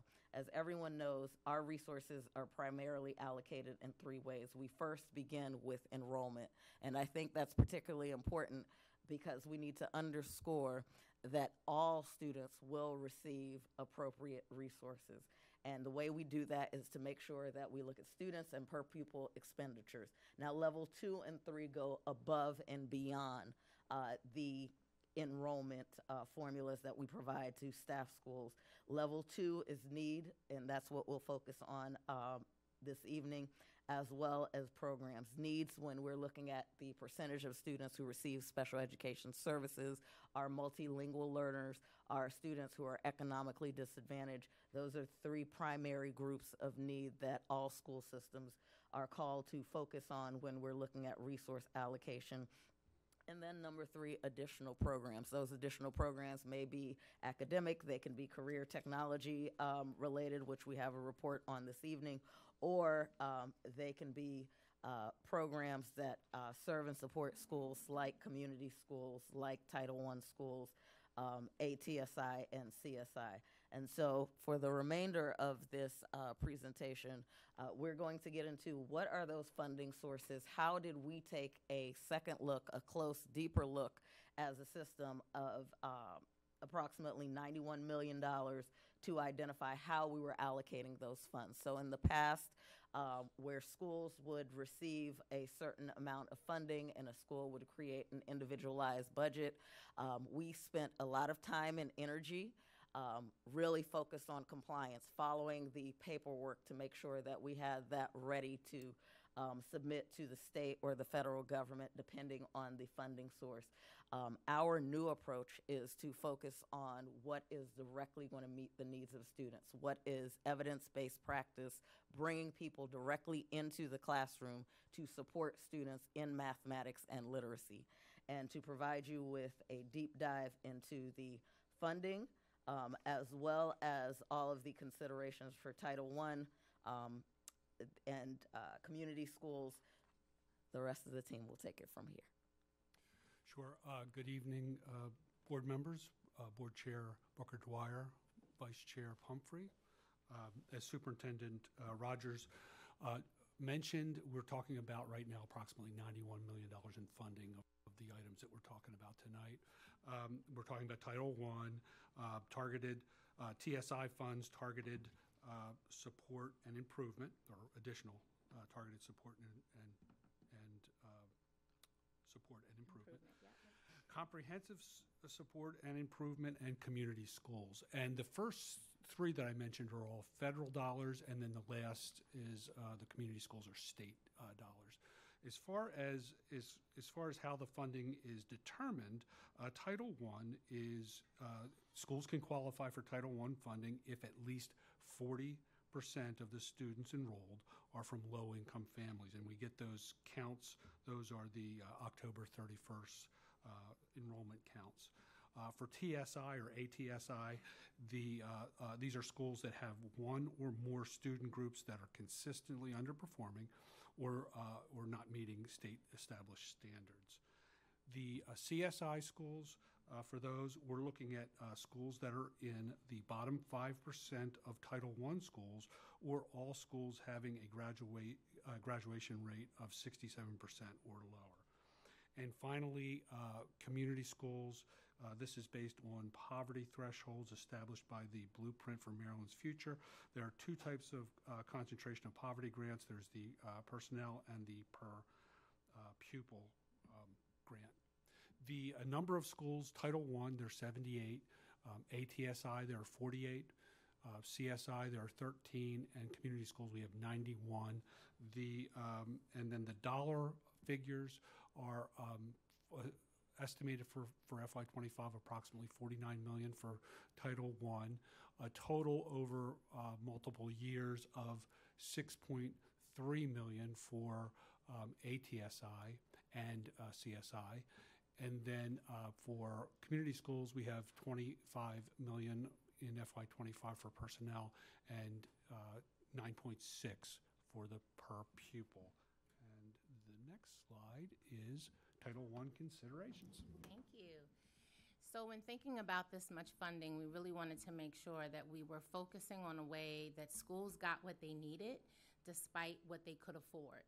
Um, as Dr. Rogers shared, in the past, schools would get a Title I allocation, and then they would determine, can I afford one teacher, two teachers, one para, so on and so forth. And so that really wasn't fair because of fluctuations in the cost of staff, particularly when you think about changes in insurance and benefit selections, as well as upgrades in salaries. And so while I may have been able to afford teacher A in year one, in year two, I can no longer afford that. This swap to how we are now allocating staffing takes that away from schools and allows us centrally to be able to fund all of the positions out of one pot. So what you see listed here are some considerations in what we took into account as we were allocating staffing to schools. We fund about 400 staff members, some paras, some teachers. We took first into account that Title I schools have high student mobility, and so we decided to use enrollment counts, of course this goes dark, at the end of the school year. Because by that point, we would see that fluctuations in enrollment would change. We also did some comparisons back to September 30th enrollment, and we took whichever one was higher. If the end of the year enrollment was higher, we used that. If the September 30th enrollment was higher, we would use that. That gave for flexibility. Next, what you'll see is the academic considerations. So we wanted to make sure that we were looking at trend data across all of our Title I schools and saying, where's the real need? We've been investing for a few years in math coaches, but we really wanted to define what that role was in comparison to what a resource teacher might do. So we created very clear job descriptions that defined what a resource teacher should do day to day and what a coach will do day to day. Coaching are really for our teachers to perfect their craft, for lack of better words, and resource teachers provide direct instruction to students. And so we wanted to make sure that we were providing some support for our teachers to be able to um, execute the curriculum the way it is designed. The other thing we did was create some variations. If you were a Title I school and a school in improvement, we provided additional staffing to you as well. And you'll see more about that in another slide. Finally, we took into account the fact that the um, numbers only tell part of the story. There's some data that we can't see centrally that schools have. And so what we did was we allowed for flexibility for schools to request additional positions. So we allocated positions based on the formula, but held some back in case schools, well, held some funding back rather, in case schools had requests they could substantiate with real school-based data and identify a need. And pretty much every school that requested received additional staffing because they had the data to support the need for that staff. They could not simply ask for um, an extra person. They had to be able to describe what the work of that person would do and how that person's work was directly connected to the data that they provided for us. So again, multiple things taken into consideration to support what the needs were at the school building. You clicking for me? Thank you. Of course. Um, next up, you'll see some of the considerations we took into account for our targeted support and improvement schools and our comprehensive support and improvement schools. Um, if you were a targeted support and improvement school, you received additional 0.5 FTE, again tied to what your data said your school needed coaching, resource teacher, um, one or the other. If you were a comprehensive support and improvement school, you received a 1.0 additional FTE, again, that had to support based on what your student data shared you needed. All of our TSI schools that um, were returning to TSI status in the second round of identification by MSDE received an additional um, resource teacher position that provided only instructional support in kindergarten through grade three. And we're funding that in those schools, some through Title I and some through other grants. We just wanted to make sure that those schools had the extra support they needed since the majority of them are elementary. Next are the additional supports in CSI school. We added in some additional leadership supports to help support the school's instructional leadership team with really pushing um, instruction and academic achievement forward. Um, all right, I'm going to talk to you. Good evening. I'm going to talk to you a little bit about community schools and what we considered for community schools. Um, so you, it was shared about the difference between the personnel and the per pupil grant. So every school does not receive both grants. Every school receives that personnel grant, but the per pupil comes um, at a different threshold. But some of the things that we considered was similar to what Title I did. We centrally funded some initiatives for schools based off the data we were seeing that it was a need. Some of those positions you see on your screen are a care liaison, um, which was one point, a 1.0 position at all of our schools that received a per pupil allocation. This is because they're in the community school strategy now and they needed support in implementing those programs and initiatives that are occurring. Uh, we also are piloting a transition facilitator at two of our, alternative centers, one middle and one high, um, to really bridge that gap with their home schools when they return. So that's a position that we're piloting centrally with community schools. We also partly fund fiscal assistance. We split that cost with Title I. We heard through our schools that this was a need for our schools with all the additional funding that they're receiving, that they need somebody on the school end to assist with that process. Health assistance is something that is um, we use through the blueprint. It talks about additional nursing and health assistant FTEs. So we work with health services to determine which schools need those additional health assistant FTEs. All of our schools receive a community school facilitator that is mandated through Blueprint, that we fund that position. And we are also centrally funding some out-of-school time programming, which is like an expanded learning program- programming that can happen before or after school um, for some of our schools based upon their need and their data. We're looking at their needs assessments for community schools and their implementation plans to determine which schools need which programs. So that's kind of our centrally funded initiatives. We also give flexibility to schools and give them their school per pupil allocation and a school funding. And with that, it has to be responsive spending based on school needs. It must be tied to their needs assessment and their implementation plan um, and aligned to evidence-based practices. There's also a consideration for every one FTE for $125,000 in their per pupil allocation. So if they received $125,000, they were able to fund a 1.0 FTE, but it had to again align to their needs assessment and their implementation plan and within the allowable parameters of the blueprint legislation on what positions could be funded. So it varies per school. So as you um, recall from an earlier slide that Dr. Rogers showed, there's a concentration of poverty in our southwest and our southeast areas. And therefore, an overlapping in grant funding for, through both Title I and community schools in those same areas. So what um, Melissa and I have done is really work to collaborate and make sure schools are looking at all of their available funding and thinking through the lens of what are the needs of the school and then determining which grant will support that need. There are some things that both Title I and community school grant funds can pay for. And we want to be that bridge to help schools support them with making those decisions. So what you'll see here are um, spending plans that are developed that include both budgets, well, sometimes three budgets. They're Title I, they're community school personnel, they're community school per pupil grant. The reason we have one spending plan, again, is to show that coordination. You may have a family engagement event that is partially funded through community schools, partially funded through Title I, because it does meet the need of both. Um, the next thing that we did is we made sure that we both held schools accountable for identifying the data they will use to measure effectiveness over time. Every year, each school, as they decide to um, submit an expense for approval, they must provide the evidence-based practice that that expense is tied to. That's in their spending plan and also in the expense submission. There's an annual evaluation that is completed for both grants. There's an external evaluator for community schools, and there is an internal evaluator for everything funded through Title I. And then finally, we're really just looking at what support looks like. How can we make sure that schools are aligning spending to where their needs are, and then collecting data to measure and monitor the effectiveness of, of those funds. Um, the last thing we wanted to share with you is on both of our websites, and these are links if you click them within the actual presentation.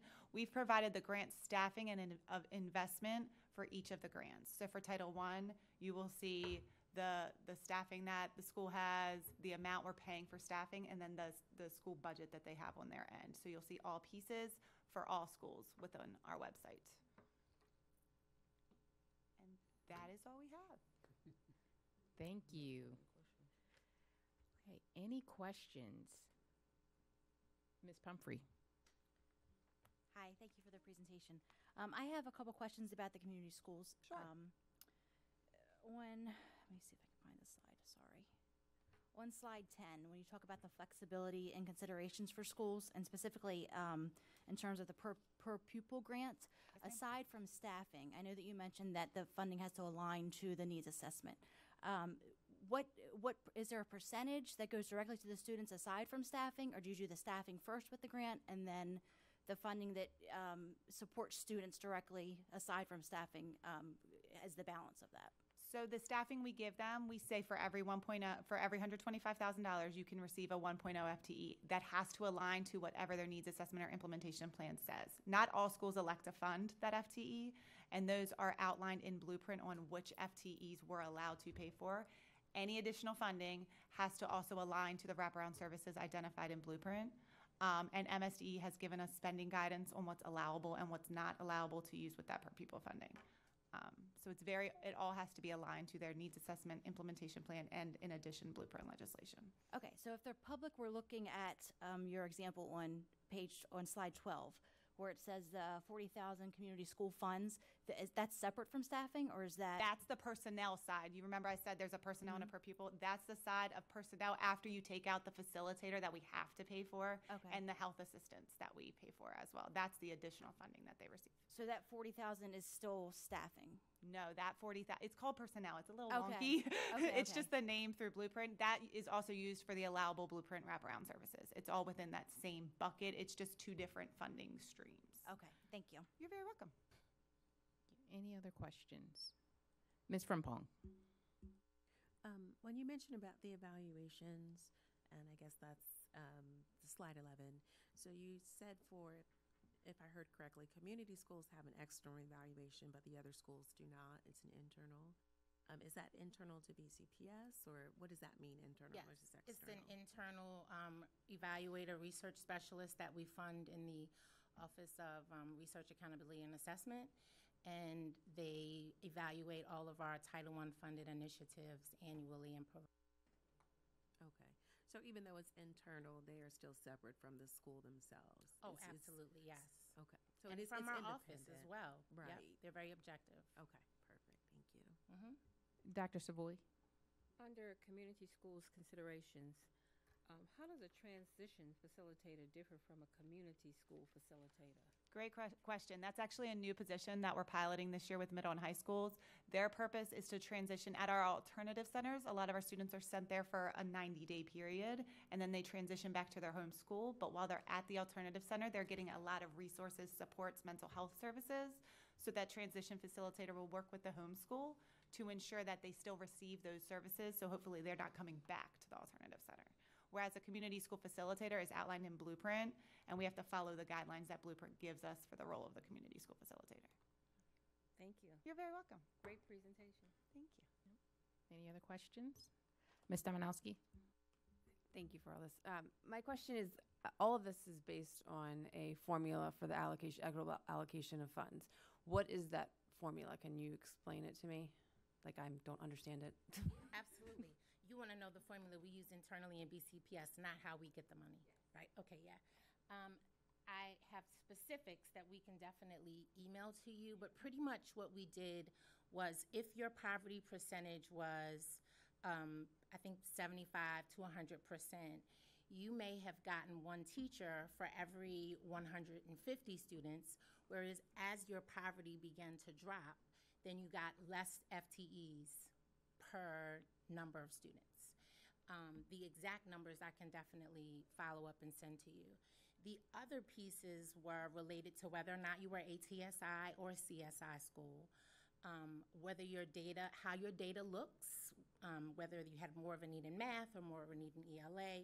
We let school, stu- schools submit to us what they'd like to do, and then we use the data centrally to confirm that they may fund those types of positions. So um, if a school had a paraeducator in a prior year and we were able to look at effectiveness data to see the results of that work, we allowed them to, excuse me, continue to fund that position um, in this upcoming school year. And then as far as community schools. So community schools, for the personnel grant, everyone gets a community school facilitator because it's outlined in Blueprint. And the health assistant FTEs additional are determined by health services. Um, Blueprint re- asks for a nurse. We already do a nurse through BCPS, which is why we do the additional health assistant FTEs as needed at the schools. For the per pupil side, it goes back to that for every $125,000, we gave them 1.0 FTE. And then they could select from allowable um, positions to fund based off blueprint legislation. So where does that 125,000 come from? That's the average cost of an FTE with full benefits so that we can make sure we are able to fund them. Yes, I would like the specifics emailed to me if- if you could. And then the other thing was the data that you said you use. What is it? Just um, the needs based on um, ELA or math or that kind of data, or is it is it more specific? A combination. So we work very closely with content offices and we let them to tell us what data should we look at. We did not look at one data set. We looked at multiple data sets. Sometimes we included attendance and suspension and referral data when making those decisions. We looked at unit assessments, um, CBAs, MAP, in some instances, instances MCAP. So it's a little bit different depending on what the content area was. But if you want me to supply that with you as well, I, I can do that as well. Yes, that would be wonderful. Thank you. And I, this last question, I think you may have already answered it with um, Dr. Savoy's question, but um, what is like the check and balance as far as within us to make sure that our schools are allocating that money equ- equitably, that they are receiving and making sure that they're, you know, doing the right thing with it? Yeah. Um, both Melissa and I have a group of specialists and senior CSFs who that is their role. Their role is to go into those schools every single day, monitor the use of those programs, talk with schools about spending their funding strictly on things that are aligned to their data and not on things that aren't included in their school progress plan. Um, we then do annual reviews of their documentation and we sit with them twice a year to go over spending and really talk about whether or not it's yielding results. So there's a lot of hand holding. Yes. and, and support around making sure that things happen the way they need to. Thank you very much. You're welcome. Thank you. Any other questions? Okay. Thank you so much. What a great Thank you. presentation. Great way to discuss equitable resource allocation. Thank you very much. The next item on the agenda is the report on the 2024-2025 Professional Development Plan, and for that, I call on Dr. Rogers. Great. All right, I'm being joined by Dr. Grimm, Chief Operating Officer, and Dr. Berkowitz, Executive Director for Employee Training and Development. We can pull up the PowerPoint, please. Dr. Grimm, you want to oh. start? Okay. Good evening. Again, Board Chair Booker Dwyer, Vice Chair Pumphrey, Dr. Rogers, and members of the board. Um, As Dr. Rogers said, we are here this evening um, to talk about professional learning. Oh, I don't know why we did that. and now it's me. Um, this presentation really is going to focus on two of our key priorities as a school system academic achievement, which is the overall goal, making sure that our students are able to achieve at high levels in a variety of ways, all students. Um, but in order to do that, we know that we need highly effective teachers, leaders, and staff. And so uh, the team will uh, present to you the plan for this upcoming school year. Uh, but before we do that, we just want to call to your attention a slide that we've shared before in the past. And that's about systemic and sustainable improvement for all school systems that really want to improve student achievement across the board, make that improvement, and then sustain the improvement over time. There are three key elements, as I've shared before. It starts with curriculum, and so we are grateful for the board's support um, to ensure that we have high quality curriculum aligned to standards. And we're excited about the pilot for secondary literacy this upcoming year and really ensuring that everything we do is evidence based and that we are out leaders in schools as well as central office leaders out and about in schools on a regular basis, uh, monitoring implementation to ensure that there's fidelity. Uh, the key piece of that work is professional learning, making sure that everyone is equipped to do their best work. Um, this includes teachers, paraprofessionals, leaders inside of buildings, as well as leaders in central office who are supervising the work. And um, the way that we operationalize this is through professional learning community. And so we have started that work um, uh, late this spring, continued it in the summer, and have a robust plan uh, throughout the year to ensure that not, only our schools, um, including our teachers and members of the leadership team, but also our offices are engaging in um, collaborative cycles of inquiry where we're looking at the data that is in front of us, identifying what the data is telling us, what are those patterns, and teachers are going back in real time uh, to make changes for the students that are in the classrooms in front of them. Uh, one of the articles that we spent a lot of time focusing on um, last year, and we will continue this school year, is uh, Spark and Sustain by the McKinsey and Company. And uh, their uh, key quote is ground systems strategy and better classroom instruction. And that's really what we've been focus on, uh, focusing on as a school system, ensuring that we have uh, everyone is trained for high quality classroom instruction. And so we wanted to start um, this presentation really getting into um, into the content of it by sharing with you a slide that you saw last month um, in a presentation that Dr. Jones and Dr. DiDonato shared with you regarding professional learning and as it's specifically related to our schools. And as you can see by this slide, professional development is at the heart. It's at the center between high quality instructional materials evidence-based instructional practices, instructional support visits, and data analysis. It's been a very, very busy summer for us here at Team BCPS with regard to professional learning. BCPS took unprecedented steps in preparation and to kick off the 2024-2025 school year as related to professional learning. Professional learning is integral in the priority area of highly effective teachers, leaders, and staff. In fact, it is because of highly effective teachers, leaders, and staff that academic achievement excels, infrastructure is upgraded, and the safety and climate of all BCPS facilities is conducive to continuous improvement. Professional learning for 2024 actually kicked off and started back in early spring, as Dr. Rogers said, when the groundwork for professional learning communities, or PLCs, and research for better teaching, or RBT as you'll see it, was introduced and in some areas reintroduced to staff. In June, immediately after school ended for students, Staff began engaging in professional learning, starting with our elementary school principals and assistant principals. From there, each of the groups identified on this slide participated in professional learning. Additionally, we have accelerated training for administrators and teacher leaders in CSI and TSI schools. So I'll speak a little bit about the busy summer that we had, just highlights. We had 13 full days of professional learning for staff in leadership positions.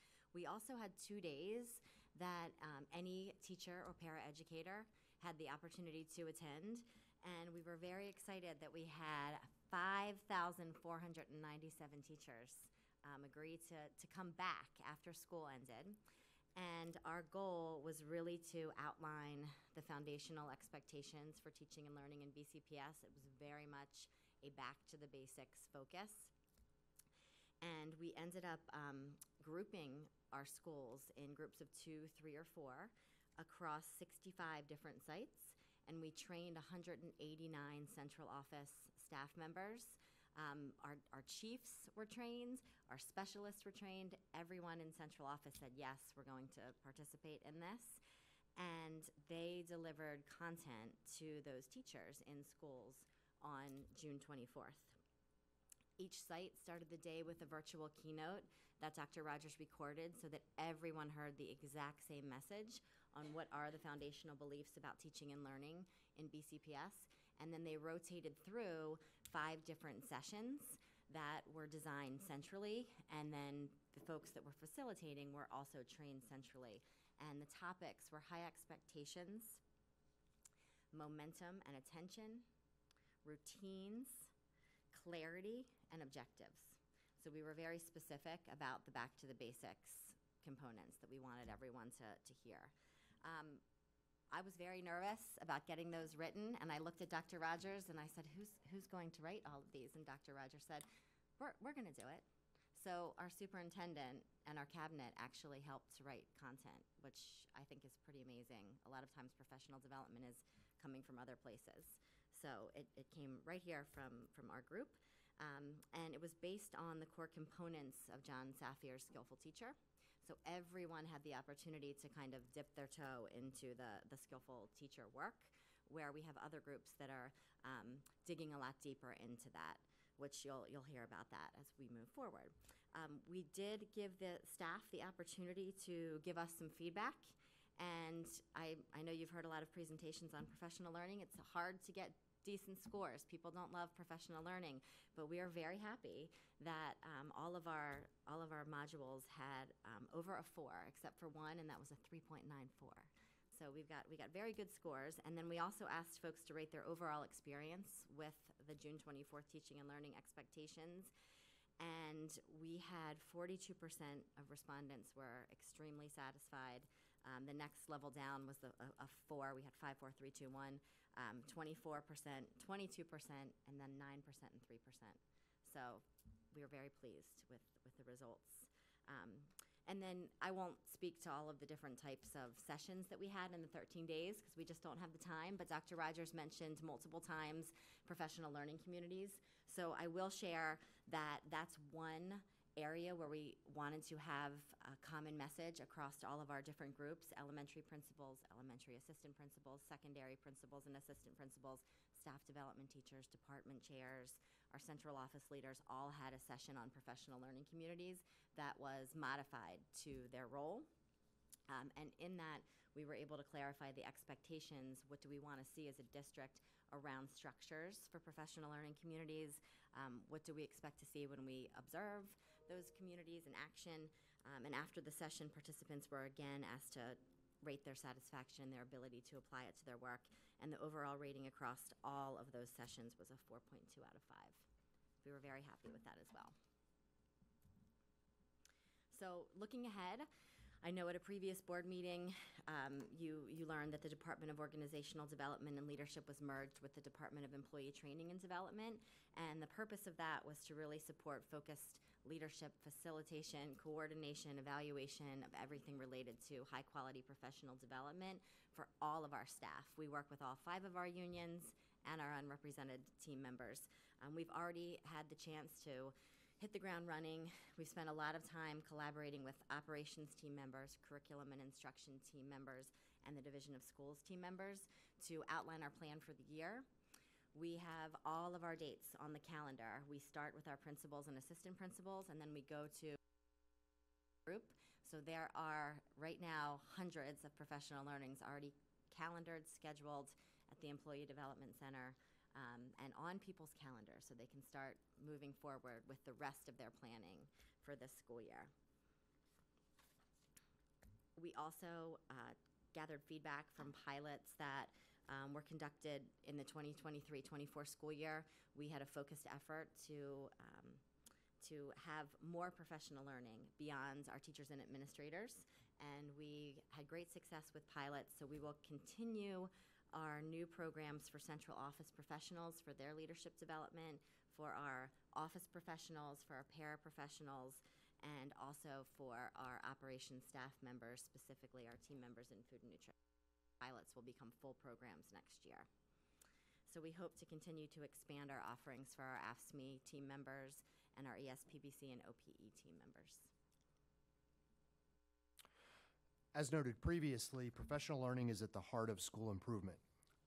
High-quality instructional materials, evidence-based instructional materials, instructional visits, and data analysis, coupled with professional development, will result in system improvement. Through professional learning across schools and offices, we hope to reduce variability and emphasize highly effective teachers, leaders, and staff. We will measure the effectiveness of professional learning with qualitative and quantitative data through program reviews, climate surveys, and registration, registration system feedback like Liz just shared, shared. And that was out of five, by the way, all those four um, scores that she was mentioning. But with the ultimate goal of observing changes in beliefs, knowledge, and practice. And that's why you see that highlighted um, and bolded in the center of this slide our expectation is that across our schools and offices. So it's really important to note that that this plan is not just about our schools, but it's about all those staff that support our schools in many various ways. We know that those bus drivers are that first face that our kids see each and every day. We know that in the cafeterias, our building service workers, our grounds workers, our staff in fiscal services and human resources need that professional learning just as our teachers and our school-based staff, our paras, our administrators, in order to, to effectively provide those wraparound services to meet the needs of our kids. So we are excited about this plan and we look to, forward to your feedback. Thank you. Thank you. This is very exciting, and I and I want to thank Ms. Berquist. Did I say that right? Berquist, Dr. Berquist. Um, on it was such a phenomenal new teacher orientation. The energy in that building was just phenomenal. I mean, Miss Sexton was giving out fifty dollar bills. there was the stories being told. I had an opportunity to meet with a lot of educators that are either new to Baltimore County or that are new to Baltimore County, but they're they may not be new to teaching. They've come from other school systems, and um, it was just a phenomenal, phenomenal experience. And all board members received invitations to all of the professional learnings that were happening this summer. Our calendars were packed. I'm like, what are all these dates? It was phen- it's just phenomenal what you all are doing. So I just wanted to say um, thank you for that. Thank you. Thank you for being there as well. Yes. Any questions from board members? Uh, Miss, yes, uh, Miss Domanowski. Yes, uh, thank you for all that. I, I just had one observation for the measures of effectiveness. Um, maybe it's just implied, but wouldn't student outcomes be a measure of effectiveness for this as well? As, I mean, the more professional development, we would hope that our students would be, you know, benefiting from that as well. Absolutely, and I, and I think when we go, when we go back to that, um, those observations that we see, those, ch- those changes in beliefs, those changes in structures that we observe in the classroom are gonna lead to that student achievement. And the other question I had was about the um, surveys that you did at the end, rating one to 5 Were there any uh, opportunities for written comments? Oh, yes. Yes. We Were- always see qualitative feedback. Will we be able to see those? Oh, sure. Okay. I'd, There's I'd love a to see whole those. host of qualitative Okay. comments. Thank you. And so the the written comments, that's a, what, there's 5,000 edu- Yes, there are many. Mhm. Right. So I'm just wondering, are you going to read through our 5,000 written comments? Or is it that you just want like a sampling of what they I'll said? take either. I mean, I- I'll go through all of them. I I don't, I can skim read, I can go through. I just, I would like to, s- I wasn't able to attend, so I'd like to hear from um, our educators how it went. We can provide a summary. Yeah. So uh, you're not going to give me all of them? The five thousand, no. But we can, we can provide, um, some, a sampling of, of But- st- but- educator but then comments. how, how, how would you, how are you going to break it down of which ones you're going to give me and not give you some of each one of them so that we already have a percentage breakdown like you know i forget what the number was so if there's 55% said extremely highly satisfied you'd get 55% of sample of what some of those people said so we'll break it down representative according to the data Okay. all right Ms. Stolusky? Yeah, just a quick, um, just could it be sent to the full board? Thank absolutely i wasn't on uh, microphone Any other questions? No one on the teams. Okay, thank you. Thank you.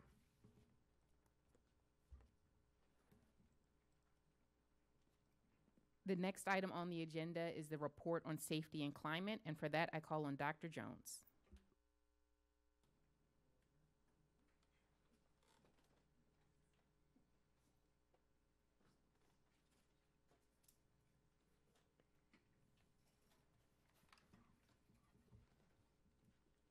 Good evening.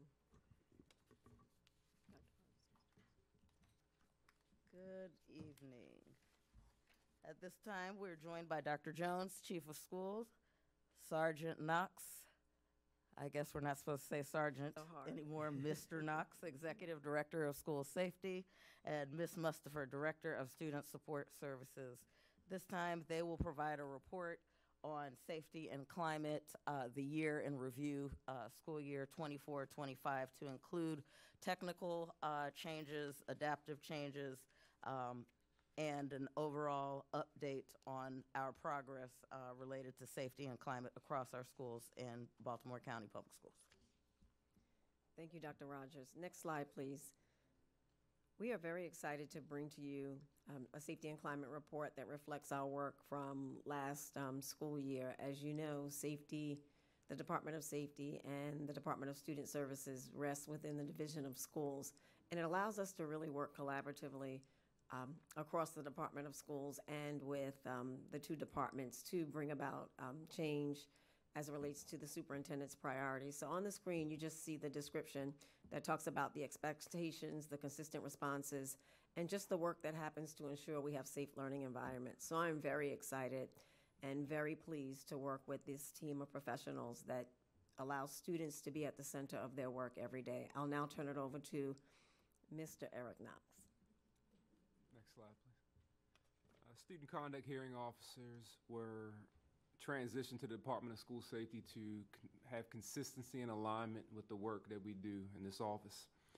Student safety assistants were uh, implemented across all schools, all 13 elementary schools and across the uh, entire district. They were moved from a grant-funded position well over to the operating budget for fiscal year 2024 to 2025. School safety managers and I remain on call 24/7, and this is around the clock each and every day, even at board meetings, while you all are sleeping, we're still out working, making sure all students, staff, and stakeholders can arrive at schools and feel safe. Um, School sa- School Resource Officer Program serves all schools. We have elementary floaters, middle schools are all covered, and high schools as well. And if you look to the right of the slide, we, we will showcase the very impactful leadership of Dr. Rogers and Chief Robert McCullough, how we identify our SROs of the year. At the top, Officer Gilbert, he's a precinct three floater for elementary schools. Officer Pitts, Precinct 7, Cockeysville Middle School, and Officer Long, Precinct 9, Rosedale Alternative, were the SROs of the year. Uh, Baltimore County Police were grant funded for positions at athletic events and site events, and they were well received by stakeholders, staff, and community members. Uh, I myself would work some of those events before I transitioned, and it was welcoming to have students walk up to you and staff members and parents that were very thankful that we were in the community and supporting them. Security vendors will also continue to be funded, and they were attending our events as well. And we saw the adequate coverage grant for law enforcement personnel was maintained and still committed through our BCPS. Next slide, please. For safety and security technology enhancements, Omnilert weapons detection system still remains and is placed at all schools across 7,000 cameras that we have in our building. And I had one alert that came in tonight, so it is very active, and we're very aware of what's going on. Um, we still remind parents, students, and staff and stakeholders that look-alike weapons, including real weapons, are not allowed on our school properties. And we remain diligent, in making sure that is kept up. Digital mapping, we're working with our police partners, aviation units, and uh, computer-aided dispatch to make sure we have digital images of our buildings using CAD to make sure responses to buildings are electronic and that our law enforcement partners and fire department partners are aware to see what's going on and where they need to go to deal with emergencies. Open gate systems, athletic, the Office, Office of Athletics uh, secured funding along with the Department of School Safety for open gate metal detectors. They are mobile metal detectors that'll be set up at athletic events along with restrictions that they put in place. And we've begun to, to get shipments of those and they will be in place for the first athletic events of the school year. And we have training the end of this week for train the trainer to make sure all athletic directors are aware of what's going on with that. Visitor screening still remains with Raptor, and it alerts us for um, the unfortunate event that a sex offender would come into our buildings, and we're alerted with that as well. And camera and surveillance upgrades remain through facilities and IT. Um, as Dr. Rogers spoke about all central office staff visiting buildings as I visit, I am seeing a representative numbers of numbered classrooms in the windows as I approach buildings, and that aids our law enforcement and fire department partners with knowing where school classrooms are by number. We have funding going into this school year that will have additional secured vestibules installed, Knox boxes for fire department partners to gain keys for the school buildings by access and not have to wait for building monitors to respond. And we uh, disseminated reunification supplies for schools as well. Next slide, please. We secured over $2.5 million in grant funds to aid in uh, security-related efforts.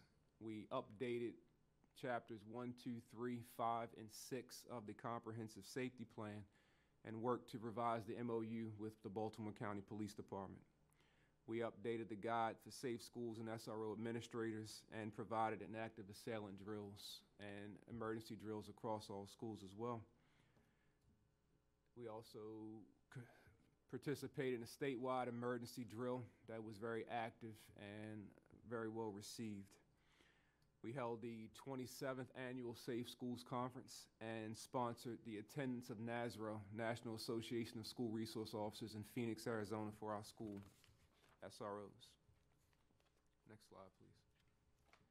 This slide shows a glimpse or look at office referrals and alternative consequences, and we see a decline, about 11,000 across both while we do see an increase in suspensions, that just means at, at a glimpse that while we're decreasing the amount of office referrals and alternative consequences, we are in alignment with the student code of conduct and are implementing school suspensions as needed.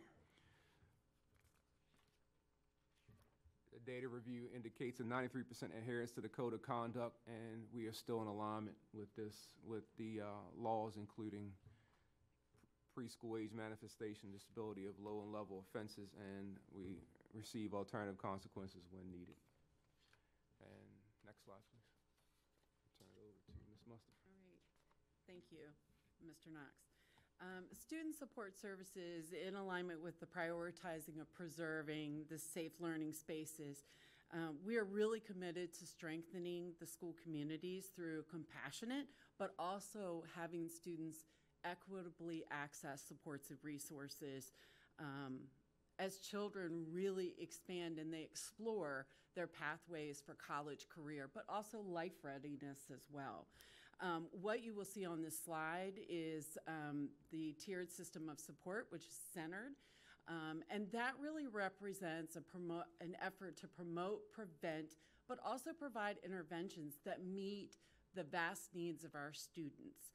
Um, and while we, we will say to you, Student Support Services is comprised of all of those folks on the left, what we know is that at central office, we lay the foundation. We provide professional learning, like coaching, um, and we provide that just-in-time problem solving with all of our partners, including safety, um, with the schools.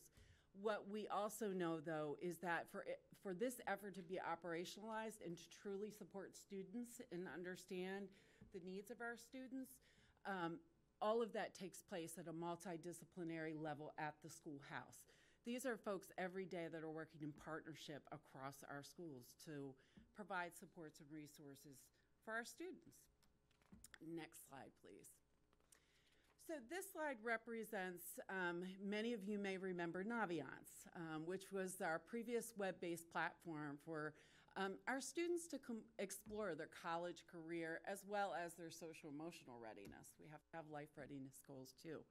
Um, and what we did over the past year under the leadership of Dr. Rogers as well as Dr. Jones is we took a high level look at our school counseling services and really explored. We talked to multiple stakeholder groups and really wanted to hear from them as to what what they needed to be successful, what they needed to explore their college career and, and their life ready skills. And so, in that, what we found from our stakeholders, we need to be consistent. We need to have platforms that are ready for the students of today. And so Xello has afforded, affords us that opportunity. Um, it contains course planning options. It contains a wealth of scholarship opportunities for our students to explore and look at. It contains surveys that students can take to consider what's my career pathway? Or do I want to go to college? Or do I want to go along this career path? Or what are the areas when we talked um, earlier about students making decisions? How am I going to make those decisions and what influences my decision making? But also, what are my resources available to support me? And so, in our work with our school counseling team, you heard Dr. Berkowitz speak about the professional learning that's going on. Our school counselors also have been part of that professional learning to really align expectations for the purpose of consistency. And Xello is one of those platforms that we're using to do that, to provide access to all of our students, not just about college, but career and life skills as well. Next slide. So the next few slides that I'm going to speak about are slides that really are grounded in our belief and our commitment to our students and our families as we prioritize the social, emotional, and the mental health needs of our students. Um, what you see in front of here, in front of you here, is um, a depiction of um, the Maryland Consortium of Coordinated Community Supports. That's a mouthful. It's an outgrowth of Blueprint, and um, this is another way that we've expanded our mental health services. Keep in mind that Baltimore County has 19 community mental health partners that already exist in our system. Through the part through the consortium work, we have added eight spokes, which are service providers who will provide an array of services really focused on our uninsured and underinsured student students. Um, these students will these services will be provided at 111 schools across our system. The two pie charts that you see there really reflect where these services are going to be showing up. So when you look at the zones, you're seeing there's pretty equitable distribution across the east, the central, and the west zones. When you look at the schools, the providers that are providing to schools are spokes per se, um, within this the hub spoke model of the consortium we see that we have more services that are leveraged at the elementary school level. And we know that that needs to be a focus in our future to make sure that when we're looking at all levels of service, that we're, we are seeing more services at the secondary level as well. So that's opportunity that's coming forward in conversation with our spokes in the years ahead, in the next year. Next slide, please. Another expansion of uh, mental health services is our Talkspace, um, our Talkspace platform. So Talkspace, if you all recall, and thank you to many of you, we were able to advance the Talkspace contract mid last year and then implement Talkspace across Baltimore County high schools for children 13 and older. Talkspace has a couple components to it that are important. The first being that it offers self guided lessons. What does that mean? That means if you are struggling with something, let's say anxiety, and you want to know more about that, you can dive into one of these self guided um, lessons and really explore, learn about yourself, but also learn about what are the resources that can aid me in managing how I'm feeling right now. Not just the resources at home, but also in the school communities as well. And then the next um, option that's available to our students is Talkspace Therapy, which is, um, sorry, the unlimited messaging um, therapy that is provided by a licensed clinician um, to students. So that is something that we're really proud of in moving forward. And I think the next slide will give you why uh, we are pretty proud of this, this initiative. So what the data says here on the left, what you will see is, is we have uh, students who are participating. The exciting part about this um, in what we have learned from pre and post surveys is that 44% of those who took advantage of Talkspace are brand new to therapy. We created a pathway for our students to be engaged in taking care of themselves. So, this is something students may never have explored. As COVID taught us, we have learned to explore not only what's face to face, but what are the remote options that are available. And this is one of, of those many pathways. The other thing that I think is, is, is important is 69% clinical satisfaction with a 4.1 out of 5 rating of those therapists who are engaging our students. Um, and, and lastly, on the um, chart to the right, um, 63% of those who engaged noted in a post survey they're still doing well. They're still finding success and utilizing the skills that they used previously. Next page. So, another um, initiative that we kicked off last year was the Here For It campaign. And you may have seen walks at schools, the posters. You may have heard all of the championing about um, attending. There's lots of um, interesting things I've noticed on Twitter of folks celebrating attendance, including what I heard today was an attend dance. So there's a dance affiliated with those who are attending. Um, so we, we found success with this and saw that we were closing the gap with, the, with attendance and improving our stu- really reaching out to our students who are chronically um, absent from school. So we're, we are in that improvement phase in this initiative.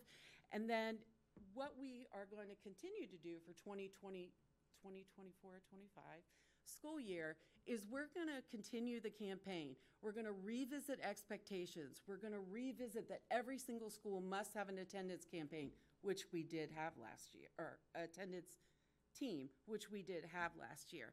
We're also going to leverage um, all of the interventions and supports that we've kind of talked about tonight, but in addition, what's happening at the school to customize those responses to our students and their needs. So as we talk about a tiered system of support, another intervention that we, two other interventions we're looking forward to is one, student success mentors. We're looking at students specifically in our southeast area who've had years, it could have been multiple years of chronic attendance needs. So we are going to be identifying student success mentors with our schools to be able to connect them. What we know is that one of the reasons students don't come to school is because they don't feel connected and they don't feel like they belong. That's national data. This is one component um, under Dr. Rogers, who had the insight to move it forward and share with us to think to consider this option. This is one way to provide that level of connection, but also to help our students find their sense of belonging through that one connected adult, or maybe it's one connected peer. um, that would serve as the student as the student success mentor. So um, that's an initiative that we are moving forward. The second part of that is attendance calendars. This is a tool to offer to the mentors, but also to families and students to be reflective in their attendance and, mo- and self-monitoring their attendance and how they're doing with that. And what do they need to correct if, if attendance isn't going well? Next slide, please. And the last and final um, slide here is we all know that there are very strong emotions uh, when we have traumatic events and losses in our communities. Um, some of the um, losses may come at the expense of a loss of a peer, could be the loss of a staff member, could be a key bridge collapse. And so, as we think about those strong emotions and how they impact our schools and our schools' communities, one of the responses that we have is that we have traumatic loss teams. Those teams are, there are 11 of those teams, and they're comprised of school based staff that are specifically trained in traumatic loss, that are organized to be responsive and go out to schools when there are events that prompt a higher level and a higher level of support that's needed. And so their focus in going out is really creating space for expression, leveraging that space for healing and moving forward in planning and understanding what's ahead of them. So that team works in collaboration. Um, we had 41 requests last school year. Um, and some of that, those responses were central office. I, with members of my central office team, we would go out. We might go out in partnership with our safety partners to really support the school, or we could just deploy a team to go out to the school with all of the, all of the supportive resources um, to manage the communities, support the schools in managing their needs. And with that, the last, very last slide, we want to say thank you for this opportunity, for helping, for, for supporting us and sharing this critical information. And we welcome questions. Yes, any questions? Ms. Pumphrey? I have a question about the um, open gate weapons detection system. ma'am. On the slide, you mentioned um, purchase for athletic events and select schools. So when you say select schools, that is that aside from athletic events, and is that something that's used on a daily basis? It could be. It just depends on what the need is and where they will be. They're mobile, so they could be moved anywhere. Athletic events inside of a school, so we determine a need, we'll move it and use it accordingly. Okay, and is this something that, that this, the students or attendees walk through? You I'm walk trying to through picture it. to Okay.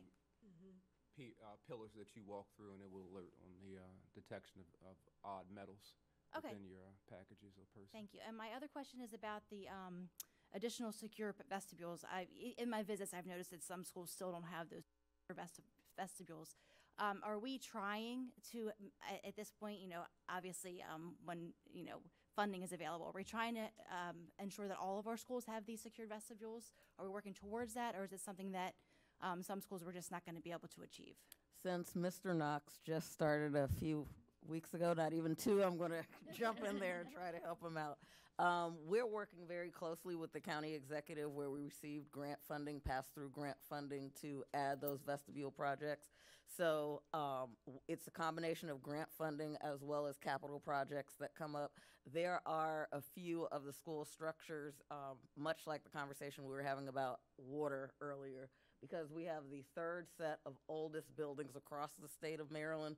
Some of the school structures, um, until we have a, uh, a pretty comprehensive renovation to what may be the front or the side of the front, it's going to require a lot. But we do have a rollout plan to uh, implement, yeah, add that additional layer of security as much as possible uh, with the pass-through grant that we have, which um, several million dollars and, and several projects this summer and will continue. Thank you. You're welcome. Ms. Henn? Thank you, Madam Chair, and thank you for this presentation. Um, Ms. Mustapher, the Talkspace Initiative has got to be the most exciting um, initiative uh, that I care very personally about. And the statistic you shared that 44% of those that have engaged, students that have engaged with Talkspace had never um, been to therapy, just really tugged at, tugs at the heartstrings. That's powerful. Um, if we can reach one student that in and of itself justifies this initiative. But can you share um, what is our engagement in terms of numbers of students that have used any of the Talkspace services and how we plan to expand and get the word out that this amazing service is available. How we, you know, work with our schools to get the word out. Absolutely. So, one of the things that we did last year and what we have on the horizon this year, so if you're coming to BCS Fest, plug right there, um, they will be there and they have been joining all of our mental health initiatives as well as just our community provider and partnership meeting.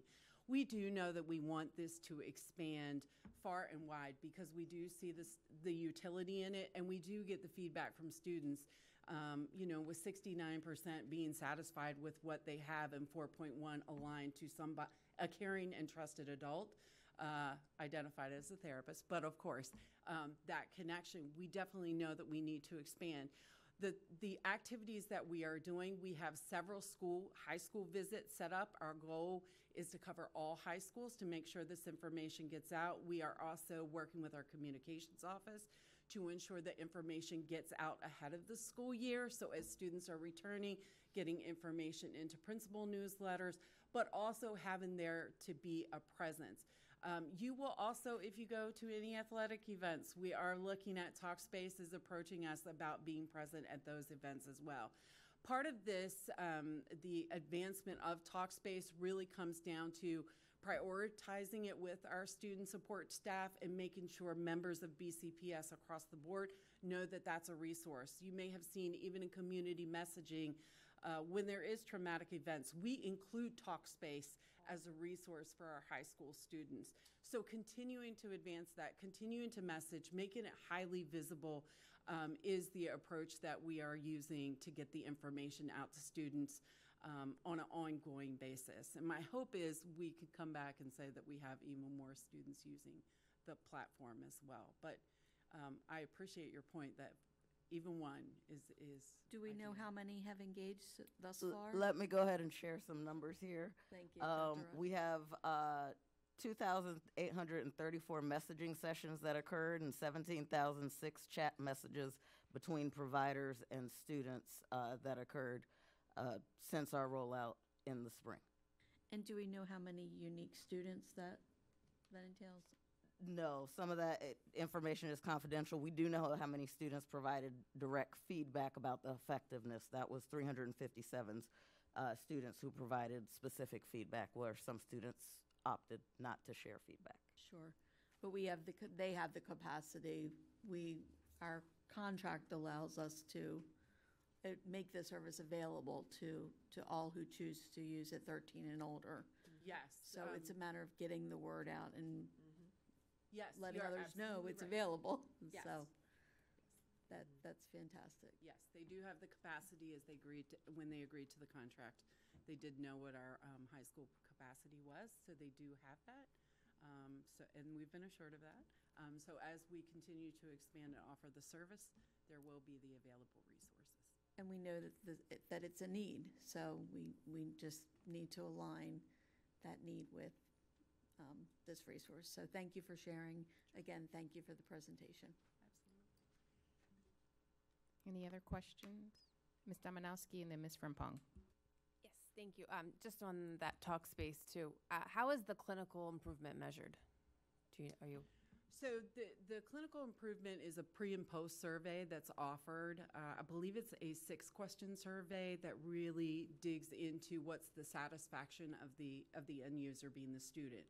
And so they respond to those survey questions. That's not something that's that's not something that, that we house in BCPS. It's information that is shared with us um, as a result of those surveys being provided to the end user via Talkspace platform. Okay, thank you. Um, the other question about that was, um, well, I, I agree that that's a great resource. Is there anything on the Talkspace that helps kids to, you know, communicate with each other instead of going to a device or a, uh, you know, to help? I think a lot, I, I'm noticing a lot that we're, we're relying a lot on our phones and a lot of on electronics when, um, not as much as we, we were growing up. We went out and played with our friends and we talked to our friends. Right. So is there something on there that helps kids, you know, make not make friends, but like you know, relate to their peers better or be outgoing, that kind of thing? You re- rely on them as a source of, you know. Yeah.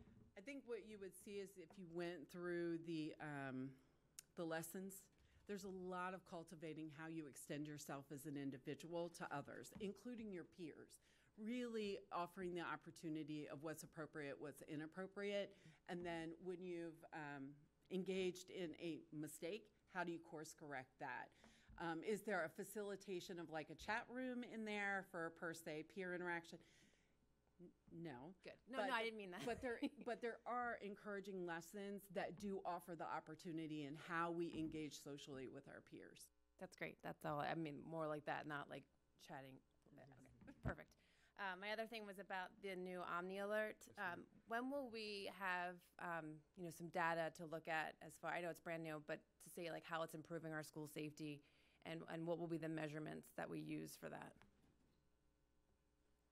I have to look to Dr. Rogers for that. Um, I can tell you probably all that I've received, every alert that's ever come out, but um, data-wise, we would have to employ how that's going to be rolled out to you. Yes, um, you know, the purpose of Omnilert and leveraging technology is to provide that extra set of safety without um, changing the school uh, climate in such a way where where students and staff members are feeling, uh, you know, the safety threats that's out there. So when Omnilert uh, and other companies' weapons detection, they come and they speak to schools and they speak to offices. They talk about prevention. That their their number one goal is in terms of preventing any um, serious, uh, you know, events from happening. They compare schools uh, in states that have them installed compared to places where that doesn't exist.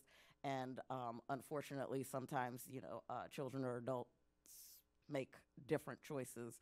Um, I, I think for us, uh, it, it's really about prevention. Also, having partnered with the chief of police as well as the county executive to send out to all, um, I think, over 800,000 residents in Baltimore County uh, that there is Omnilert in schools. What the expectations are, even if people are playing or going to a community event, is is really what everybody's looking for. I know it's it's really what our law enforcement partners are looking for is that we're keeping um, that it's more preventative in nature as opposed to.